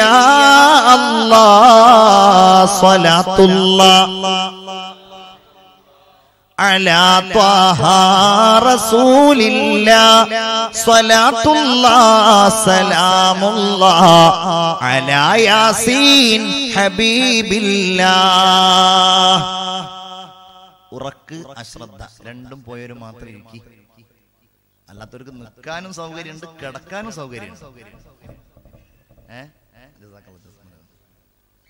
എല്ലാരും ഒക്കെ പോയോ അൽഹംദുലില്ലാ ഉറക്കൊക്കെ പോയി എല്ലാരും ഉണർന്ന സ്ഥിതിക്ക്. സഹോദരിമാരെ നിങ്ങളെ ഞങ്ങൾ കാണുന്നില്ല എന്നുണ്ടെങ്കിലും നിങ്ങളൊക്കെ അവിടെ ഉറങ്ങാതിരിക്കുന്നുണ്ടാവുന്നതാണ് ഞങ്ങളുടെയൊക്കെ പ്രതീക്ഷ. ഇൻഷാ അള്ളാ ബക്കറ്റുമായിട്ട് നമ്മുടെ സുഹൃത്തുക്കളുടെ അടുക്കൽ പേരെന്താണ്? അബ്ദുൽ ഹമീദ് സാഹിബാണ്. അപ്പൊ ഹമീദ് വരുന്ന സമയത്ത് ഒരു കാര്യം കൂടെ പറഞ്ഞിട്ട് തുടങ്ങിയാൽ മതി ഹമീദ് കാ എന്താണെന്നറിയോ ഇപ്പൊ കീശയെന്ന് ഇങ്ങനെ എടുത്തിട്ടുണ്ടാവും. എത്ര? നമ്മൾ ഏറ്റവും കൂടുതൽ. അള്ളാഹു എന്താ ഖുർആനിൽ പറഞ്ഞത്? ലൻ തനാലുൽ നിങ്ങൾ ഏറ്റവും ഇഷ്ടപ്പെടുന്നത് നിങ്ങൾ ചെലവഴിക്കുന്നത് വരെ നിങ്ങൾ ആരും നല്ലത് ചെയ്തവരല്ല. ഇതൊരു ചെലവഴിക്കലാണല്ലോ. നമ്മളെ ഏറ്റവും ഇഷ്ടപ്പെടുന്നത് കാരണം നമ്മുടെ കീശയിലുള്ളതിൽ നമ്മൾ ഏറ്റവും ഇഷ്ടപ്പെടുന്ന നോട്ട് എത്രയാണ്?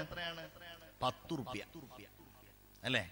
അതുകൊണ്ട് എല്ലാരും പത്ത് റുപ്യ എങ്ങനെ ഏത് ബക്കറ്റ് പിരിവ് നോക്കിയാലും പത്ത് ഞാൻ പലപ്പോഴും പറയാറുണ്ട് നമ്മുടെ നരേന്ദ്രമോദി അഞ്ഞൂറും ആയിരം ഒക്കെ നിരോധിച്ച കൂട്ടത്തിൽ ആ പത്ത് രൂപ കൂടെ നിരോധിച്ചിരുന്നെങ്കിൽ നമ്മളെ ബക്കറ്റ് പിരിവൊക്കെ എന്നേ രക്ഷപ്പെട്ടേ ഇവർ മിക്കവാറും നമ്മളുടെ ബക്കറ്റ് പിരിവ് കണ്ടാൽ നിരോധിക്കാൻ സാധ്യതയുണ്ട്. എവിടെ നോക്കിയാലും പത്ത് റുപ്യ. ആ പ്രവണത അവസാനിപ്പിക്കണം. പത്ത് റുപ്യക്ക് എന്താ കിട്ടുക? ഒരു കിലോ മത്തി. ഞാൻ കഴിഞ്ഞ പിന്നെ ബുധനാഴ്ച ചൊവ്വാഴ്ച ബുധനാഴ്ച എങ്ങാണ്ട് ഒരു കിലോ മത്തി വാങ്ങിയപ്പോ എത്ര വില എന്നറിയാം നൂറ്റി ഇരുപത് രൂപ. ഒരു കിലോ മത്തിക്ക് ഇവിടെ എത്രയാണ്? ഞാൻ ഇവിടെ വില കുറവുണ്ടെങ്കിൽ കുറച്ച് നമ്മുടെ നാട്ടിലേക്ക് കൊണ്ടുപോകാന്നോ ആലോചിക്കാൻ വേണ്ടി ചോദിച്ചതാണ്. ഇരുന്നൂറോ? എന്നിട്ടാണോ നിങ്ങൾ പത്ത് രൂപ ഇടുന്നത്? മത്തിയിൽ താഴെ ഉള്ള വല്ല മീനുണ്ടോ? ഇല്ലല്ലോ. മത്തിയിൽ താഴെ ഒരു മീൻ. ഏറ്റവും ലോക്കൽ മീനായിട്ട് എല്ലാവർക്കും കഴിക്കാൻ പറ്റുന്ന ഏത് കാലഘട്ടത്തിലും കിട്ടുന്ന ഒരു മത്സ്യം അതുകൊണ്ടാണ് മത്തിനെ പറഞ്ഞത്. മാന്തളാവുമ്പോ അതിനേക്കാളും അപ്പുറാണ്. അയലയാവുമ്പോ അതിനേക്കാളും അപ്പുറാണ്. എന്നിട്ടാണ്. അപ്പൊ ഇൻഷാ അല്ലാ മത്തിയുടെ ഒരു പകുതി ഒരു അരക്കിലോ കിലോ മത്തിയുടെ കാശെങ്കിലും നിങ്ങളുടെ ബിസ്മില്ലാഹി റഹ്മാൻ റഹീം. നല്ലൊരു സ്വതക്ക. പത്ത് എടുത്ത് കയ്യിൽ വെച്ച ആളുകൾ അതൊന്നും കൂടെ ഇട്ടിട്ട് അതിൽ എന്തെങ്കിലും കൂട്ടിയിടുക. അള്ളാഹു സ്വീകരിക്കട്ടെ. അള്ളാഹു കബൂലാക്കട്ടെ. അള്ളാഹു കബൂലാക്കട്ടെ എല്ലാരും ആമീൻ പറയാം. അള്ളാഹു സ്വീകരിക്കട്ടെ. എന്ത് മുറാദുകളോടെയാണോ നിങ്ങൾ ആ ബക്കറ്റിലേക്ക് സ്വതക്ക ചെയ്യുന്നത്? അള്ളാഹു ആ സ്വതക്കയെ സ്വീകരിക്കട്ടെ. അള്ളാഹു നിങ്ങളുടെ മുറാദുകൾ ഹാസുലാക്കി തരട്ടെ ആമീൻ യാ റബ്ബൽ ആലമീൻ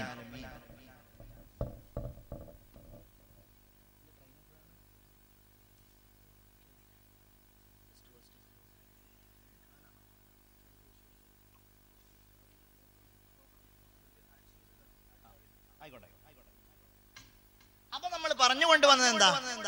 അപ്പൊ ഞാൻ ഈ പിന്നെ ഇത് പറയുന്നതിന്റെ മുമ്പ് എന്താണ് പറഞ്ഞത് നിങ്ങൾ പറയണം. ഞാൻ എന്ത് പറഞ്ഞിട്ടാ നിർത്തിയത്? നിങ്ങൾ ശ്രദ്ധിക്കണം. ഇതൊരു ആത്മസുഹൃത്താണ്. അള്ളാഹു ദീർഘായുസ് കൊടുക്കട്ടെ ആരോഗ്യം ഓപ്പറേഷനുമായി ബന്ധപ്പെട്ട് എന്തോ ഒരു കാര്യം പറഞ്ഞിരുന്നു പ്രിയപ്പെട്ട റഹ്മാൻ റിയാസ് റഹ്മാൻ അള്ളാഹു താഴെ എന്ത് ബുദ്ധിമുട്ടുണ്ടെങ്കിലും അള്ളാഹു താഴെ നിറവേറ്റി കൊടുക്കട്ടെ നിങ്ങൾ ആലോചിച്ച് നോക്കൂ. ഞാൻ എന്താ പറഞ്ഞത്? നിങ്ങൾ നാല് കാര്യങ്ങൾ ഉണ്ടെങ്കിൽ ഒരാൾ വിജയിയാണ്. എപ്പോഴും കേൾക്കുന്ന ഹദീസാണ് ഞാൻ അതുകൊണ്ട് ചുരുക്കി പറയാം. ഒന്ന് സദ്വൃത്തയായ ഒരു ഭാര്യ. അതുണ്ടോ? നമ്മൾ വിജയിച്ച ആളാണ്. എന്താണ് എല്ലാവരുടെയും മുഖം മങ്ങിയോ മങ്ങിയോ? നിങ്ങൾ വിജയികൾ തന്നെയല്ലേ ഇതിൽ? അള്ളാഹു തൗഫീഖ് തരട്ടെ. അള്ളാഹു അനുഗ്രഹം ചൊരിയട്ടെ. ആമീന യാ റബ്ബൽ ആലമീൻ. അതോ പണ്ടൊരാൾ പറഞ്ഞതുപോലെയാണോ? പണ്ടൊരാൾ കാര്യമായി വാൾ പറഞ്ഞുകൊണ്ടിരിക്കുകയാണ്. ഭയങ്കര വാൾ ഉസ്താദ് ഭയങ്കര വാൾ വാളിന്റെ ഇടയിൽ ഉസ്താദ് അവറുകൾ വാളൊക്കെ കഴിഞ്ഞിട്ട് ദ്വാ ചെയ്യാൻ പറഞ്ഞപ്പോഴുണ്ട് ഒരു സഹോദരിയുടെ ഭാഗത്ത് നിന്ന് ഒരു ഇരുന്നൂറ്റമ്പത് രൂപയുടെ ഒരു സ്വതക്ക. ഉസ്താദെ കാര്യമായിട്ട് ദ്വരക്കണം. എനിക്ക് എന്റെ ഭർത്താവിനോടൊപ്പം സ്വർഗത്തിൽ ഒരുമിച്ച് കൂടാൻ ആഗ്രഹമുണ്ട്. സംഭാവന ഇരുന്നൂറ്റമ്പത് റുപ്യ ഉസ്താദിന് ഭയങ്കര സന്തോഷമായി. കാരണം വാൾ സ്വീകരിച്ചതിന്റെ അടയാളാണല്ലോ അങ്ങനെ ഉസ്താദ് ഇങ്ങനെ ദ്വാരക്കുന്നതിന്റെ ഇടയിലുണ്ട്. ആണുങ്ങളുടെ ഭാഗത്ത് നിന്ന് അഞ്ഞൂറ് രൂപയുടെ വേറെ ഒരു സ്വതക്ക. ഉസ്താദെ നേരത്തെ ചെയ്ത സ്വീകരിക്കാതിരിക്കാൻ വേണ്ടി അങ്ങ് ദ്വാരക്കണം. ഞാൻ ഈ സ്ത്രീയുടെ ഭർത്താവാണ്. സ്വർഗത്തിൽ ദുന്യാവ് തന്നെ എങ്ങനെയാ പോണെന്ന് അറിയില്ല. സ്വർഗത്തിലെങ്കിലും ഒന്ന് സമാധാനം ആയിക്കോട്ടെ തമാശയായിട്ട് പറയണമെന്നുണ്ടെങ്കിലും അങ്ങനെയുള്ളവരാണോ? അല്ല. അല്ല ഏതായാലും അത് അത് അത് വിജയത്തിന്റെ അടയാളമാ. ഒന്ന് അൽമർ രണ്ടാമത്തേത് വൽ ജാറു സ്വാലിഹ്. നല്ല അയൽവാസി ഒരാൾക്കുണ്ടാവുക. നല്ല ചുറ്റുപാടുകളിലുള്ളവർ അത് മുസ്ലിം ആവട്ടെ മുസ്ലിങ്ങളല്ലാത്തവരാകട്ടെ സന്തോഷമുള്ളാകുന്നവരുണ്ടാവുക ആനന്ദമുണ്ടാക്കുന്നവരുണ്ടാവുക ആഹ്ലാദകരമായ ജീവിതമുണ്ടാക്കുന്നവരുണ്ടാവുക. ഞാൻ എന്നെ കുറിച്ച് പറയാമല്ലോ എന്റെ ചുറ്റുപാടുകളിലുള്ള അയൽവാസികൾ മുഴുവൻ മുസ്ലിങ്ങളല്ലാത്തവരാണ്. എന്റെ വീടിന്റെ മുകളിലുള്ളവൻ ഒരു മുരളിയാണ്. അതിന്റെ ഇപ്പുറത്തുള്ളത് ഒരു ദേവകിയുടെ വീടാണ്. അതിന്റെ ഇപ്പുറത്തുള്ളത് ഒരു മുസൽമാനായ എന്റെ ബന്ധുവായ ഒരു ഉസ്മാന്റെ വീടാണ്. ഞാൻ എപ്പോഴും ചിന്തിക്കാറുണ്ട് അള്ളാഹുവേ ഒരു മതമാവണമെന്നില്ലല്ലോ സ്നേഹം പങ്കുവെക്കാൻ സൗഹാർദ്ദം പങ്കുവെക്കാൻ പരസ്പരമുള്ള ഇഷ്ടം പങ്കുവെക്കാൻ. അതാർക്കുമാകാമല്ലോ? മനുഷ്യനായാൽ മതിയല്ലോ. ജാതിയുടെയും മതത്തിന്റെയും അതിർവരമ്പുകൾ മാറ്റിവെച്ച് അയൽവാസി എന്ന ആ സ്നേഹം കൊണ്ട് ആ ബന്ധങ്ങളെ നിബദ്ധമാക്കുവാൻ വേണ്ടി നമ്മെ പഠിപ്പിച്ചു. ആദരവായ നബി മുഹമ്മദ് മുസ്തഫ സല്ലല്ലാഹു അലൈഹി വസല്ലം അവനെ ബഹുമാനിക്കാൻ പഠിപ്പിച്ചു. അള്ളാഹുവിന്റെ ദീൻ. അപ്പൊ നല്ല അയൽവാസി ഉണ്ടാവുക. മൂന്നാമത്തേത് എന്താണ്? മൂന്നാമത്തേത് അവിടെ നിൽക്കട്ടെ. നാലാമത്തേത് വൽ മർക്കബുൽ ഹനീ. വൽ മർക്കബുൽ ഹനി ഇണങ്ങിയ ഒരു വാഹനം ഉണ്ടാവുക. മൂന്നാമത്തേത് വൽ മസ്കനുൽ വേറെ ഹദീസിൽ വിശാലമായ വീട്. ഇവിടെയാണ് നമ്മളൊക്കെ പെടാറുള്ളത്. നമ്മുടെ മനസ്സിനാണ് വിശാലത. ഞാൻ ഒരാളുടെ വീട്ടിൽ പോയി. ആ വീട്ടിൽ പോയപ്പോ എന്നെ സംബന്ധിച്ചിടത്തോളം കാഴ്ചയിലത് ചെറിയ ഒരു വീടാണ്. പക്ഷെ ആ മനുഷ്യന്റെ മനസ്സ് വളരെ വിശാലമാണ്. കാരണം അയാൾക്ക് ആ വീട് എല്ലാ സൗകര്യമുള്ള വീടായിട്ട് അനുഭവപ്പെടുന്നു. നിങ്ങൾ നിങ്ങളുടെ വീടുകളെ കുറിച്ച് ആലോചിക്കുക. എന്നിട്ട് നിങ്ങൾ ചിന്തിക്കുക എന്റെ ഈ വീട് അലഹമില്ല ഇതിലെനിക്ക് താമസിക്കാനുള്ള വിശാലതയുണ്ടല്ലോ സൗകര്യങ്ങളുണ്ടല്ലോ. ഇതെനിക്ക് മതിയായതാണ്. ഇനി ഇതിന്റെ മുകളിൽ ഞാൻ വീട് വെക്കുന്നില്ല. ഇതിനെ ഞാൻ വിശാലമാക്കുന്നില്ല എന്ന് ചിന്തിച്ച് ഉള്ള വീട് കൊണ്ട് തൃപ്തിപ്പെട്ടാൽ റഹ്മാനായ റബ്ബ് അത് വിശാലമായ വീടാക്കുകയാണ്. എന്നാൽ വീടുണ്ടാക്കി ഒരു കൊല്ലം കഴിഞ്ഞപ്പോ റൂമിന്റെ വീതി പോരല്ലോ. സിറ്റ് ഔട്ടിന്റെ വീതി പോരല്ലോ. അതുപോലെ അതിഥികളെ സ്വീകരിക്കാനുള്ളതിന്റെ വിശാലത പോരല്ലോ എന്ന് പറഞ്ഞിട്ട് കടം വാങ്ങിയും ബുദ്ധിമുട്ടിയിട്ടും ഉള്ള വീട് പൊളിക്കാൻ തയ്യാറാകുന്നുവെങ്കിൽ നിന്റെ വീട് വിശാലമായ വീടല്ല. നിന്റെ വീട് നീ വിജയിച്ചതിന്റെ അടയാളം നിനക്ക് കിട്ടിയിട്ടില്ല. വിശാലമായ വീടെന്ന് പറയുന്നത് ഏതാ ആ വീട്ടിലേക്ക് നിന്റെ പ്രിയപ്പെട്ട ഉമ്മയെ നീ കൊണ്ടുവന്നിട്ടുണ്ട്. നിന്റെ പ്രിയപ്പെട്ട ഉപ്പ അവിടെ താമസിക്കുന്നുണ്ട്. നിന്റെ ഭാര്യ എവിടെയുണ്ട് നിന്റെ മക്കൾ എവിടെയുണ്ട് നിന്റെ ഉമ്മാക്കുള്ള സേവനം നീ ചെയ്യുന്നുണ്ട്. നിന്റെ വാപ്പാക്കുള്ള സന്തോഷം നീ ചെയ്യുന്നുണ്ട്. നിന്റെ ഉമ്മാക്ക് രാത്രി ചോറ് പറ്റില്ല. നിന്റെ ഉമ്മാക്ക് രാത്രി കഞ്ഞിയാണ് പറ്റുക. ആ കഞ്ഞിയാണ് നീ ഉമ്മാക്ക് കൊടുക്കുന്നത്. നിന്റെ ഉപ്പാക്ക് രാത്രി ചപ്പാത്തി ചപ്പാത്തിയാണ് വേണ്ടത്. നീ ആ ചപ്പാത്തിയാണ് കൊടുക്കുന്നത്. അവിടെ അസ്വാരസ്യമില്ല അവിടെ സങ്കടമില്ല അവിടെ സംഘട്ടനമില്ല. എല്ലാം അവിടെ സമാധാനമാണ് എങ്കിൽ. ആ വീടാണ് അൽ മസ്കനുൽ. വിശാലമായ വീട് എന്ന് നബിയുന മുഹമ്മദ് മുസ്തഫ സല്ലല്ലാഹു അലൈഹി വസല്ലം സൂചിപ്പിച്ച വീട്. എന്നാൽ ഇന്നത്തെ വിശാലത എവിടെയാണ്? ഇന്ന് എന്തിനാണ് ഗൾഫിൽ പോകുന്നത്? നമ്മുടെയൊക്കെ ലക്ഷ്യം ഒരു വീടുണ്ടാക്കുക എന്നുള്ളതാണ്.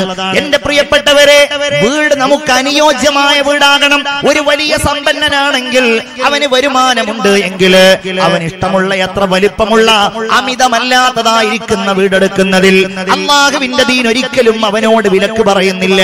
എന്നാൽ ഇന്ന് വീടെടുക്കുന്നത് എങ്ങനെയാ? ഞാൻ കഴിഞ്ഞ ദിവസം ഒരു വീട്ടിൽ പോയപ്പോ ആ സഹോദരന്റെ വീട് യൂട്യൂബിലൊക്കെ ഉണ്ട് അവന്റെ വീടിന്റെ ഹൗസ് വാമിംഗ് ഉണ്ട്. എന്നാൽ അദ്ദേഹത്തിന്റെ ഉപ്പ എന്നോട് പറഞ്ഞു ഈ വീടെടുത്തതിന് ശേഷം ഇവിടെ സമാധാനമില്ല. മുഴുവൻ കടമാണ്. അവനാണെങ്കിലോ എല്ലാ സൗകര്യങ്ങളുമുള്ള ആളായിരുന്നു പക്ഷെ ഈ വീടെടുത്തതോടുകൂടെ അവനാകെ പ്രശ്നത്തിലാണെന്ന് എന്നോട് പറഞ്ഞു. എനിക്ക് തോന്നിയ ഒരു കാര്യം വീടെടുക്കാൻ വേണ്ടി ഒരുങ്ങിയ ഒരാൾ അവന്റെ ബഡ്ജറ്റിൽ ഒതുങ്ങാത്ത അവന്റെ ഭാര്യയുടെ സമ്മർദ്ദ പ്രകാരം അവന്റെ പൊങ്ങച്ചത്തിന് വേണ്ടിയിട്ട് അവന്റെ ആഡംബരത്തിന് വേണ്ടിയിട്ട് അവൻ വീടുണ്ടാകുമ്പോ അവന്റെ വരുമാനത്തിനപ്പുറത്തേക്ക് പോയിട്ട് ബാങ്കിൽ പോയി ലോൺ എടുത്ത് പലിശക്ക് പണമെടുത്ത് ആളുകളിൽ നിന്ന് കടം വാങ്ങി അങ്ങനെ അലങ്കാരവും സന്തോഷവും അലങ്കാരവും അതുപോലെ വലിയ വലിയ സംവിധാനവും ഒക്കെ ഒരുക്കിയാൽ ആ വീടൊരിക്കലും സമാധാനത്തിന്റെ വീടാവുകയില്ല. അവിടെയാണ് നമ്മൾ ആദ്യ സമുദായത്തെ കാണേണ്ടത്. അവിടെയാണ് നമ്മൾ സമൂഹ ഗോത്രത്തെ കാണേണ്ടത് ഇതൊക്കെ എന്തിനാ ഖുർആൻ പറഞ്ഞെന്നറിയോ ഇവന്മാര് വലിയ വീടുണ്ടാക്കി എന്ന് ഖുർആൻ പറയുന്നുണ്ട് ആദ് സമുദായം എന്താ പറഞ്ഞത് പോലെ വീട് എങ്ങനത്തെ വീടെന്നറിയോ നമ്മളുടെ ലോക്കൽ വീടല്ല وثمود الذين جابوا الصخر بالواد മലഞ്ചെരിവുകളിൽ പാറകൾ തുരന്നുകൊണ്ടാണ് സമൂത് ഗോത്രം വീടുകൾ ഉണ്ടാക്കിയത് സമുദായോ.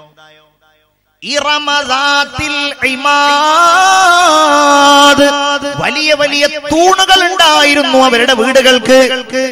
മഹാനായ സയ്യിദുന ഹൂദ് നബി അലൈഹി ഇസ്ലാം അവരോട് ചോദിക്കുകയുണ്ടായി അല്ലയോ സമുദായമേ നിങ്ങൾ എന്തിനാണ് ഇത്രയും വലിയ വീടുകൾ ഉണ്ടാക്കുന്നത്? നിങ്ങൾ എന്തിനാണ് ഇത്രയും വലിയ കൊട്ടാരങ്ങൾ ഉണ്ടാക്കുന്നത്? എന്നവരോട് ചോദിച്ചപ്പോൾ നബി അലൈഹി ഇസ്ലാമിനെ പരിഹസിച്ച് കളിയാക്കി വിട്ട അവരുടെ ഏറ്റവും വലിയ മാതൃകയാണ് പ്രത്യേകിച്ച് കേരളത്തിലുള്ള നമ്മൾ പിന്തുടരുന്നത്. ഞാൻ പറയണത് ഒരു വീട് നല്ലൊരു സൗകര്യമുള്ള വീട് ഉണ്ടാക്കുക എന്നുള്ളതിന് ഒരിക്കലും നമ്മൾ എതിർക്കല്ല. പക്ഷെ ആ വീട് പലിശയിൽ അധിഷ്ഠിതമാകരുത്. അള്ളാഹു നമ്മളെ കാക്കട്ടെ. ആ വീട് പൊങ്ങച്ചത്തിന്റെ വീടാകരുത്. അള്ളാഹു നമ്മളെ കാക്കട്ടെ. എനിക്ക് വലിയൊരു അതല്ല എനിക്കൊരു വീടുണ്ടാവണം എന്റെ ബഡ്ജറ്റിൽ എന്റെ സൗകര്യത്തിൽ എന്റെ റാഹത്തിൽ ഒതുങ്ങിയ ഒരു വീട്. അതാ നീയത്ത് ഈ നാട്ടിൽ ഏറ്റവും വലിയ വീട് ഈ ഏറ്റവും വലിയ സൗകര്യം. അങ്ങനെ ആക്കുമ്പോഴാണ് അള്ളാഹു താല പരീക്ഷിക്കുക. ചിന്തിച്ചു നോക്കൂ നിങ്ങൾ. അള്ളാഹു താല എന്താണ് സമൂഹ ഗോത്രത്തെ കാണിച്ചത്? എന്താണ് ആദ്യ സമുദായത്തെ കാണിച്ചത്? ഖിയാമത് നാളിന്റെ അടയാളം എന്താണ്? ഖിയാമത് നാളിന്റെ അടയാളം മനുഷ്യന്മാര് വലിയ വീടെടുക്കുന്നുള്ളതാണ് ഞാൻ പറയണത് നമ്മൾ വലിയ വീട് ചെറിയ വീട് ഉണ്ടാക്കിയോ വലിയ വീട് ഉണ്ടാക്കിയോ അവരല്ല ഞാൻ പറയണത്. ഞാൻ പറയണത് ഈ രണ്ട് സ്വഭാവം ഒന്ന് പൊങ്ങച്ചത്തിനും രണ്ടാമത് എന്തിനും? രണ്ടാമത് പലിശയിൽ അധിഷ്ഠിതമായതും. ഒരു വീടുണ്ടാക്കുമ്പോ അത്യാവശ്യം ചില്ലറ കടം വാങ്ങുക എന്നുള്ള ഒരു പ്രശ്നമുള്ള കേസായിട്ടല്ല ഞാൻ പറയണത്. കടം വാങ്ങാതെ ഒരു വീടുണ്ടാക്കാൻ കഴിയാന്നുള്ളത് അപൂർവമായ ഒരു സംഗതിയാണ്. നമ്മളൊക്കെ ചെറിയ ചെറിയ വീടുണ്ടാക്കേണ്ടി വരും. എല്ലാവരുടെയും ഏറ്റവും വലിയ സ്വപ്നല്ലേ? പക്ഷെ അള്ളാഹു നിഷിദ്ധമാക്കിയ പലിശയും അതുപോലെ പൊങ്ങച്ചവും. ഇത് രണ്ടുണ്ടെങ്കിൽ അവന്റെ കാര്യം പോയി. നമ്മളുടെയൊക്കെ മനസ്സിൽ അങ്ങനെ വല്ലതുണ്ടെങ്കിൽ ദേ ഇപ്പോഴേ നമ്മൾ അങ്ങ് ഒഴിച്ചു വിട്ടോ. കാരണം എന്താണെന്നറിയോ?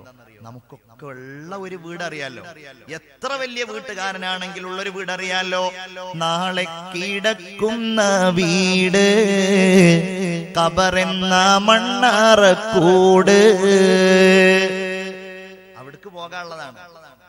ആറ് കാലുള്ളൊരു കട്ടിലിലേറ്റി ആളുകൾ മെല്ലെ നീടുന്നു ഇരുളാൽ പേയിന്റിട്ട വീട് കബറെന്ന മണ്ണറക്കൂട്.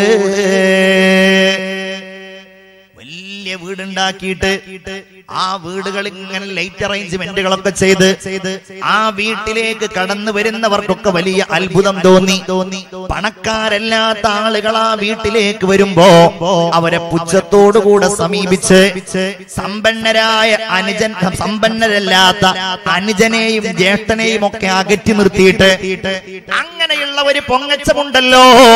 മുമ്മിനെ പള്ളിപ്പുഴയിലെ മുമ്മിനീങ്ങളെ പള്ളിപ്പുഴയിലെ ഉമ്മമാരെ അങ്ങനെയൊക്കെയുള്ള സ്വഭാവമാണ് എങ്കിൽ നമ്മളൊന്ന് ചിന്തിക്കുക. അല്ലാ എന്റെ ഈ സുന്ദരമായ വീട്ടിൽ വെച്ച് ഞാൻ അങ്ങ് മരിച്ചു പോയാൽ എന്നോടൊരു സഹോദരൻ പറയുകയാണ് ഉസ്താദേ ഞങ്ങളുടെ നാട്ടിൽ വലിയ ഒരു വീടിന്റെ ഉടമയുണ്ടായിരുന്നു.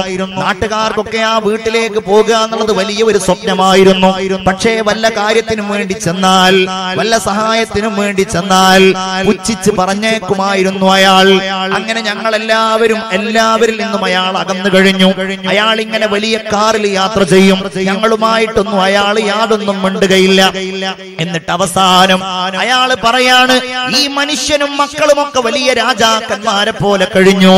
എല്ലാവർക്കും അവരെ പുച്ഛമാണ്. എല്ലാവരും എല്ലാവരെയും അവർക്ക് പുച്ഛമാണ്. അയൽവാസികളുമായിട്ടൊന്നും ഒരു ബന്ധവുമില്ല.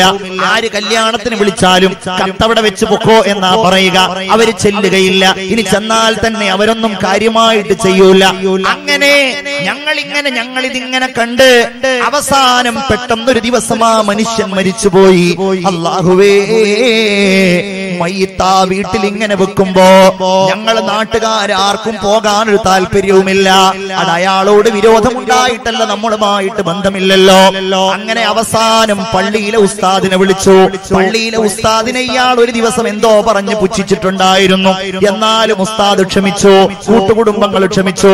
ഉസ്താദ് തന്നെ നാട്ടിലുള്ള എല്ലാവർക്കും ഫോൺ ചെയ്തിട്ട് ഈ മനുഷ്യന്റെ മയ്യത്ത് കാണാൻ വരാൻ പറഞ്ഞു നമ്മളുടെ ഒരു ബാധ്യതയാ ബാധ്യതയാണല്ലോ. അങ്ങനെ ഇയാൾ മരിച്ചു കഴിഞ്ഞു. കഴിഞ്ഞിട്ട് ഇയാളുടെ മകൻ കാര്യങ്ങളൊക്കെ തിരിച്ചറിഞ്ഞു. അലഹമില്ല മകൻ പൊതുവാ പൊതുവായ കാര്യങ്ങൾക്ക് സഹായിക്കാൻ തുടങ്ങി. നാട്ടുകാരോട് ചിരിക്കാൻ തുടങ്ങി. നാട്ടുകാർക്ക് സന്തോഷകരമായ അനുഭവങ്ങൾ ഉണ്ടാവാൻ തുടങ്ങി. ഇന്ന് ആ വീട് ഞങ്ങളുടെ നാട്ടിലെ എല്ലാവരുടെയും മത്താണിയായ ഒരു വീടാണ്. എല്ലാവർക്കും സന്തോഷം നൽകുന്ന ഒരു വീടാണ്. ആ മനുഷ്യന്റെ മകൻ ഇന്ന് ഒരുപാട് ഹൈറുകൾ ചെയ്യുന്നുണ്ടെന്ന് എന്നോടൊരു സഹോദരൻ അനുഭവം പറഞ്ഞത്.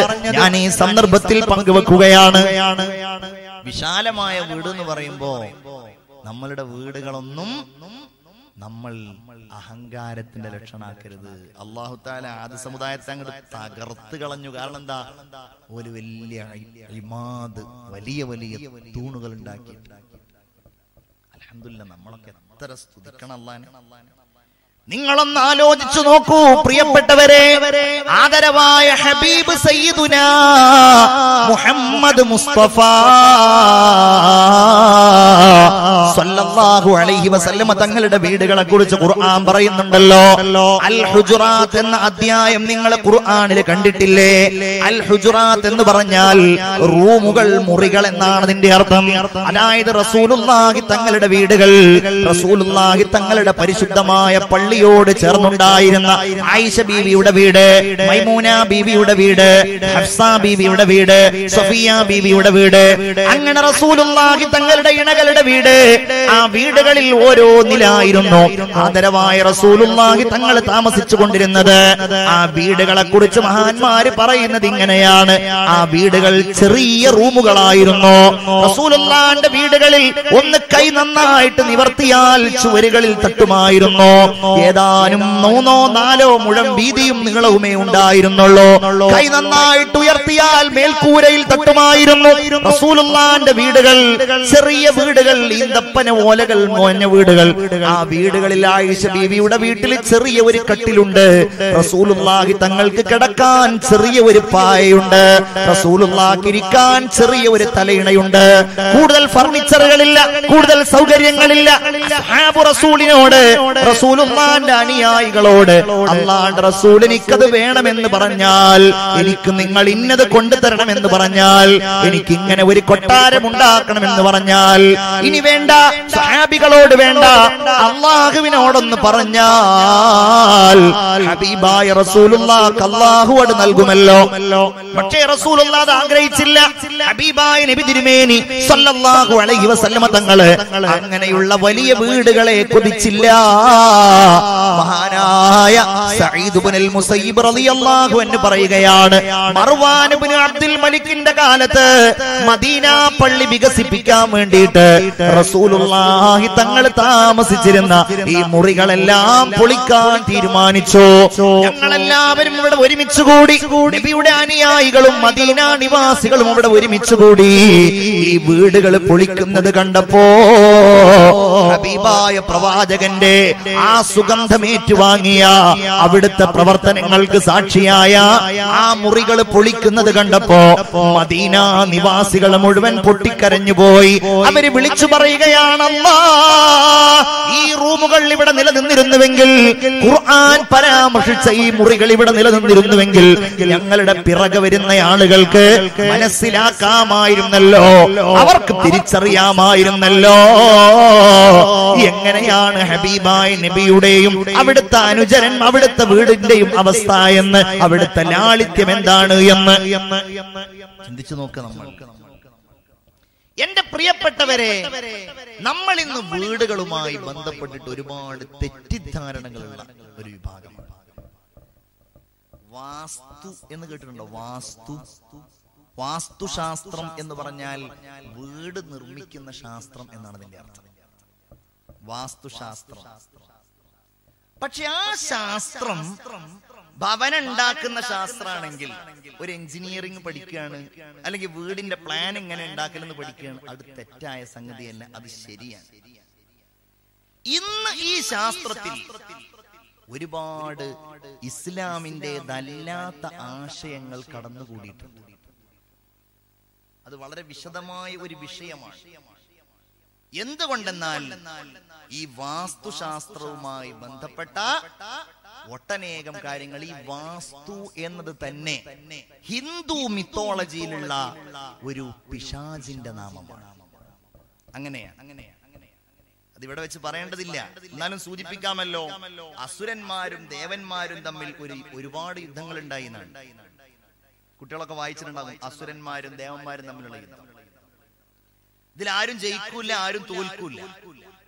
ഒടുവിൽ ഈ അസുരന്മാർ ദേവന്മാരെ ചില രീതിയിൽ പരാജയപ്പെടുത്തി അവസാനം ഒരു വാസ്തു എന്ന് പറഞ്ഞൊരു പിശാജ് ഉണ്ടാവുകയും ആ പിശാജിൽ നിന്ന് രക്ഷ നേടാൻ വേണ്ടിയിട്ട് ദേവന്മാർ ശിവനെ സമീപിച്ചപ്പോ ശിവൻ വാസ്തുവിനെ ഭൂമിയിലേക്ക് പറഞ്ഞയക്കുകയും ചെയ്യുന്നൊക്കെയാണ് അതിന്റെ ഐതിഹ്യം.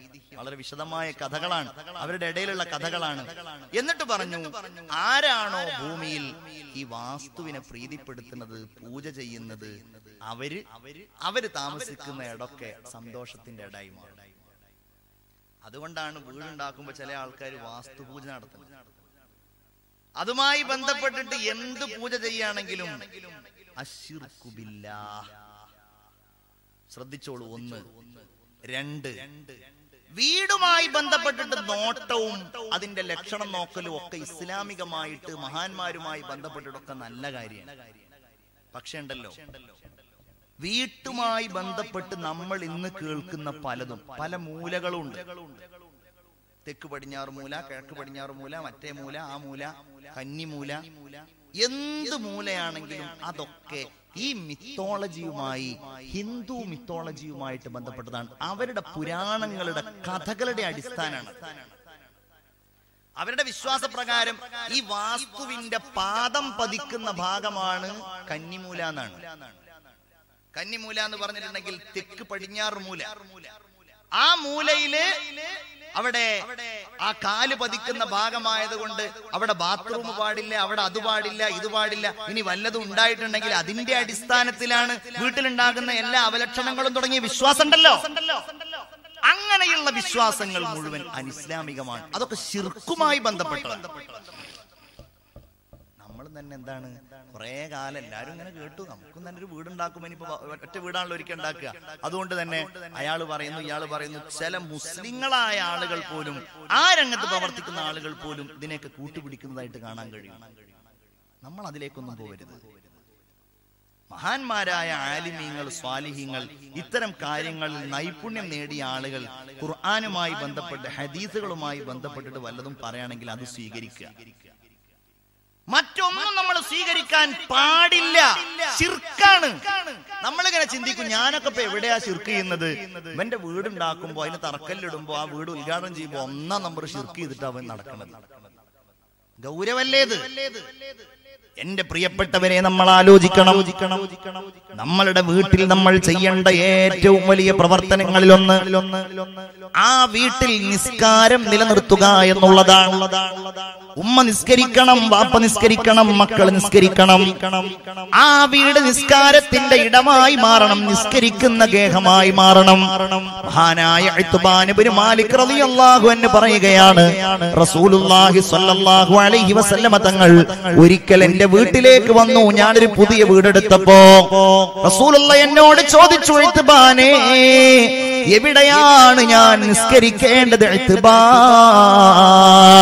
മഹാനായ റസൂലുള്ളാഹി സ്വല്ലല്ലാഹു അലൈഹി വസല്ലമ തങ്ങൾ പറഞ്ഞു അപ്പോൾ ഇത്ബാൻ ഒരു സ്ഥലം കാണിച്ചു കൊടുത്തപ്പോ മഹാനായ ഇത്ബാൻ ഇബ്നു മാലിക് റളിയല്ലാഹു അൻഹുവിന്റെ വീട്ടിൽ റസൂലുള്ള ഒരു സ്ഥലത്ത് നിസ്കരിച്ചു. പിന്നെ ആ സ്ഥലം ഞങ്ങളൊക്കെ നിസ്കരിക്കാൻ വേണ്ടി ഉപയോഗിക്കുകയായിരുന്നു ആലോചിക്കേണ്ട സംഗതിയാണ്. വീട്ടിൽ കയറിക്കൂടാൻ പറ്റിയ ഏറ്റവും നല്ല സമയം എന്ന് പറഞ്ഞാൽ ലുഹായുടെ സമയമാണ് ഉച്ചയുടെ മുമ്പുള്ള സമയം. പ്രഭാതം ഏറ്റവും ഉത്തമമായതാണ്. അതാ സുബഹയുടെ സമയം എന്നുള്ളത് മാറ്റിയിട്ട് നമ്മളത് ആ പ്രഭാത സമയത്ത് ഒരു ലുഹ നിസ്കരിച്ച് കയറുകയാണെങ്കിൽ അത് ഏറ്റവും ഉത്തമമായ ഒരു അവസ്ഥയായിരിക്കും. ഞാൻ എന്റെ പ്രിയപ്പെട്ട സഹോദരന്മാരോടും സഹോദരിമാരോടും പറയാണ് വീട്ടിൽ നിസ്കരിക്കാൻ ഒരിടം നൽകൽ വളരെ നല്ലതാണ്. അള്ളാഹു താല പരിശുദ്ധ ഖുർആാനിലൂടെ പറഞ്ഞത് നമുക്കറിയാമല്ലോ. ഇലാ മൂസ വഅഖീഹി ഹാറൂൻ മൂസ അലൈഹിസ്സലാമിലേക്കും ഹാറൂൻ അലൈഹിസ്സലാമിലേക്കും നാം ദിവ്യബോധനം നൽകി.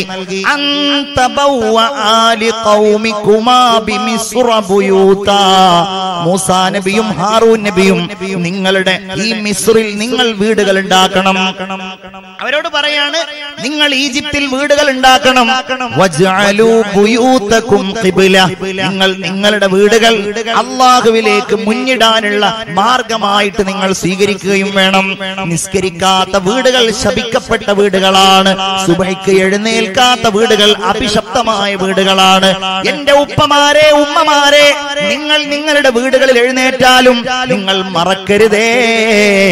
ഏഴു വയസ്സിന് മുകളിലുള്ള നിങ്ങളുടെ പ്രിയപ്പെട്ട മക്കളെ നിങ്ങൾ നിസ്കരിക്കാൻ വേണ്ടി രാവിലെ എഴുന്നേൽപ്പിക്കണം. ആ വീടുകളിൽ നിസ്കാരങ്ങളുടെ ആ വീടുകളിൽ പരിശുദ്ധ ഖുർആാനിന്റെ പ്രഭ ഉണ്ടാകണം. അങ്ങനെയുള്ള വീടുകളിൽ മാത്രമാണ് അള്ളാഹു തമ്പുരാൻ സന്തോഷവും സമാധാനവും നൽകുന്നത്. നമ്മൾ ആ വീട്ടിലേക്ക് കടക്കുമ്പോൾ ബിസ്മി ചൊല്ലിക്കടന്നാൽ ആ വീട്ടിലേക്ക് നമ്മൾ പ്രവേശിക്കുമ്പോൾ വീട്ടിലുള്ളവരോട് സലാം പറഞ്ഞ് പ്രവേശിച്ചാൽ റഹ്മാനായ റബ്ബ് സുബ്ഹാനഹു തആല നമ്മളുടെ വീടുകളിൽ അനുഗ്രഹം ചൊരിയുന്നതാണ്. നമ്മൾ ആരാ ശ്രദ്ധിക്കാറുള്ളത്? ഇന്നിപ്പോ വീട്ടിൽ നിന്ന് ഇറങ്ങിയപ്പോ വീട്ടിൽ നിന്ന് ഇറങ്ങുമ്പോൾ ചൊല്ലേണ്ട ദിക്റ് ചൊല്ലി എത്രയാളുണ്ട് എന്ന് ചോദിച്ചാൽ എന്താ പറയാ?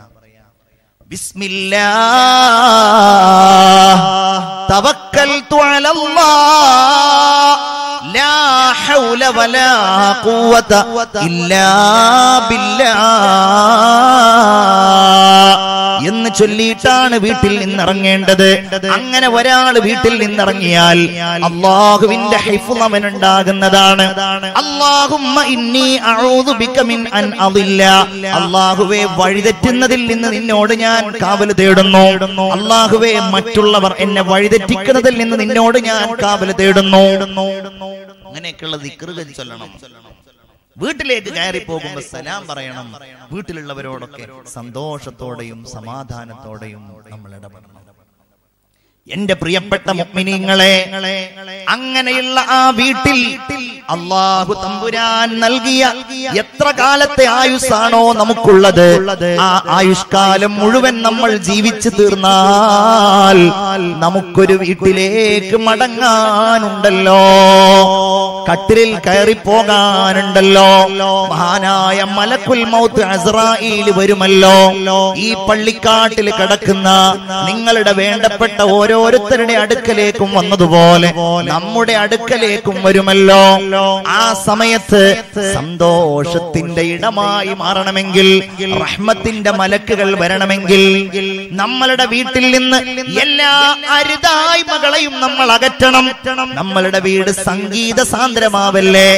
നമ്മളുടെ വീട് സിനിമ കാണപ്പെടുന്ന വീടാവല്ലേ? നമ്മളുടെ വീട് ഹെറാമ് പറയപ്പെടുന്ന വീടാകല്ലേ? അങ്ങനെയുള്ള വീടായാൽ റഹ്മത്തിന്റെ മലക്കുകൾ വരികയില്ല. നമുക്ക് കബറിലേക്ക് പോകുമ്പോ നമ്മുടെ മുമ്പിലും നമ്മുടെ പിന്നിലും അള്ളാഹുവിന്റെ മലക്കുകൾ വേണം. അള്ളാഹു നമ്മെ കബറിൽ കൊണ്ടുപോയാൽ ആ കബർ സന്തോഷത്തിന്റെ സ്വർഗ- സ്വർഗത്തിന്റെ ഇടമാക്കി മാറ്റാൻ നമുക്ക് സാധ്യമാകണം. അതിന് നമ്മൾ എന്ത് വേണം? നമ്മുടെ വീടുകളിൽ ഖുർആൻ പാരായണം. നമ്മുടെ വീടുകളിൽ നിക്കറിന്റെ ശബ്ദം. നമ്മുടെ വീടുകളിൽ സ്നേഹത്തിന്റെ ശബ്ദം. നമ്മുടെ വീടുകളിൽ സമാധാനത്തിന്റെ ശബ്ദം. അള്ളാഹു തൗഫീഖ് തരട്ടെ. ഈ പറഞ്ഞ കാര്യങ്ങളൊക്കെ സ്വീകരിക്കാനും ഇതനുസരിച്ച് പ്രവർത്തിക്കാനും അള്ളാഹു നമുക്ക് എല്ലാവർക്കും അവസരം തരട്ടെ. എല്ലാവരും ആമീൻ പറയൂ അള്ളാഹു അവസരം തരട്ടെ. ഇൻഷാ അള്ളാഹ് ഈ സദസ്സ് ദുആയുടെ സദസ്സാണ്. ഇവിടെ എത്രയോ ആളുകളുണ്ട്. ഒരു വീടില്ലാത്ത ആൾ വാടക വീടുകളിൽ താമസിക്കുന്ന ആൾ സ്വന്തം വീടുണ്ടാക്കാൻ വേണ്ടി കാലങ്ങളായി ആഗ്രഹിച്ചിട്ട് ഇതുവരെ അത് നടക്കാത്ത ആളുകൾ ഇന്ന് വീടിനെ കുറിച്ച് പറഞ്ഞ ഈ മജ്ലിസിൽ പ്രത്യേകമായി ഞാൻ അവർക്ക് വേണ്ടി പറയാം. കുറച്ച് കാര്യങ്ങൾക്ക് വേണ്ടിയിട്ട് നമ്മൾ ഇവിടെ ചെയ്യാൻ പ്രത്യേകിച്ച് എന്തെങ്കിലും ഉണ്ട്? ചെയ്യാൻ? ലേലം ചെയ്യാനുണ്ട്. നിങ്ങൾ ഈ മജ്ലിസിൽ വെച്ച് നല്ല സ്വതക്കകൾ വാഗ്ദാനം ചെയ്താൽ ഏറ്റവും നല്ല സ്വതക്കകൾ നിങ്ങൾ തന്നാൽ ഇൻഷാ അല്ലാ നമുക്ക് എല്ലാവർക്കും വേണ്ടി ചെയ്യാം. റഹ്മാനായ റബ്ബേ എന്തൊക്കെ നിയ്യത്തുകളോടെയാണോ ഈ സദസ്സിൽ സ്വതക്ക ചെയ്യുന്നത്? അവരുടെയൊക്കെ മുറാദുകൾ നീ ഹാസിലാക്കണേ അല്ലാ. എല്ലാവരും ഒന്ന് കൈ ഉയർത്തിപ്പിടിച്ച ആമീൻ പറയൂ. പറയൂ ഈ പള്ളിപ്പുഴയിലെ ഈ റാത്തീബിന്റെ ദിവസത്തിൽ അള്ളാഹുവേ പ്രിയപ്പെട്ട ഉമ്മാക്ക് വേണ്ടി പ്രിയപ്പെട്ട ഉപ്പാക്ക് വേണ്ടി പ്രിയപ്പെട്ട വെല്ലിമ്മാക്ക് വേണ്ടി പ്രിയപ്പെട്ട വെല്ലിപ്പാക്ക് വേണ്ടി ഒരു സ്വതക്ക പറഞ്ഞിട്ട് ഇൻഷാ അള്ളാഹ് ആരാണോ അത് വഴക്കാൻ ആവശ്യപ്പെടുന്നത്. ഇന്നലെ മിനിഞ്ഞാന്നൊക്കെ കൊടുത്തോരായിരിക്കും എന്നാലും സ്വതക്ക തരുമ്പോ ഇൻഷാ അള്ളാഹ് റഹ്മാനായ റബ്ബ് അവരുടെ മുറാദുകൾ അള്ളാഹു താല ഹാസുലാക്കി കൊടുക്കട്ടെ. എല്ലാവരും ആമീൻ പറയും. പ്രത്യേകിച്ച് മരിച്ചുപോയവരുടെ പേരിൽ ആരൊക്കെയാണോ സ്വതക്ക ചെയ്യുന്നത്? അള്ളാഹു അവരുടെയൊക്കെ കബർ വിശാലമാക്കി കൊടുക്കട്ടെ. മരിച്ചുപോയവരുടെ കബറിലേക്ക് നിങ്ങൾ ചെയ്യുന്ന സ്വതക്കകളുടെ സവാബ് അള്ളാഹു താഴെ നൽകട്ടെ. ആമീന യാ റബ്ബൽ ആലമീൻ.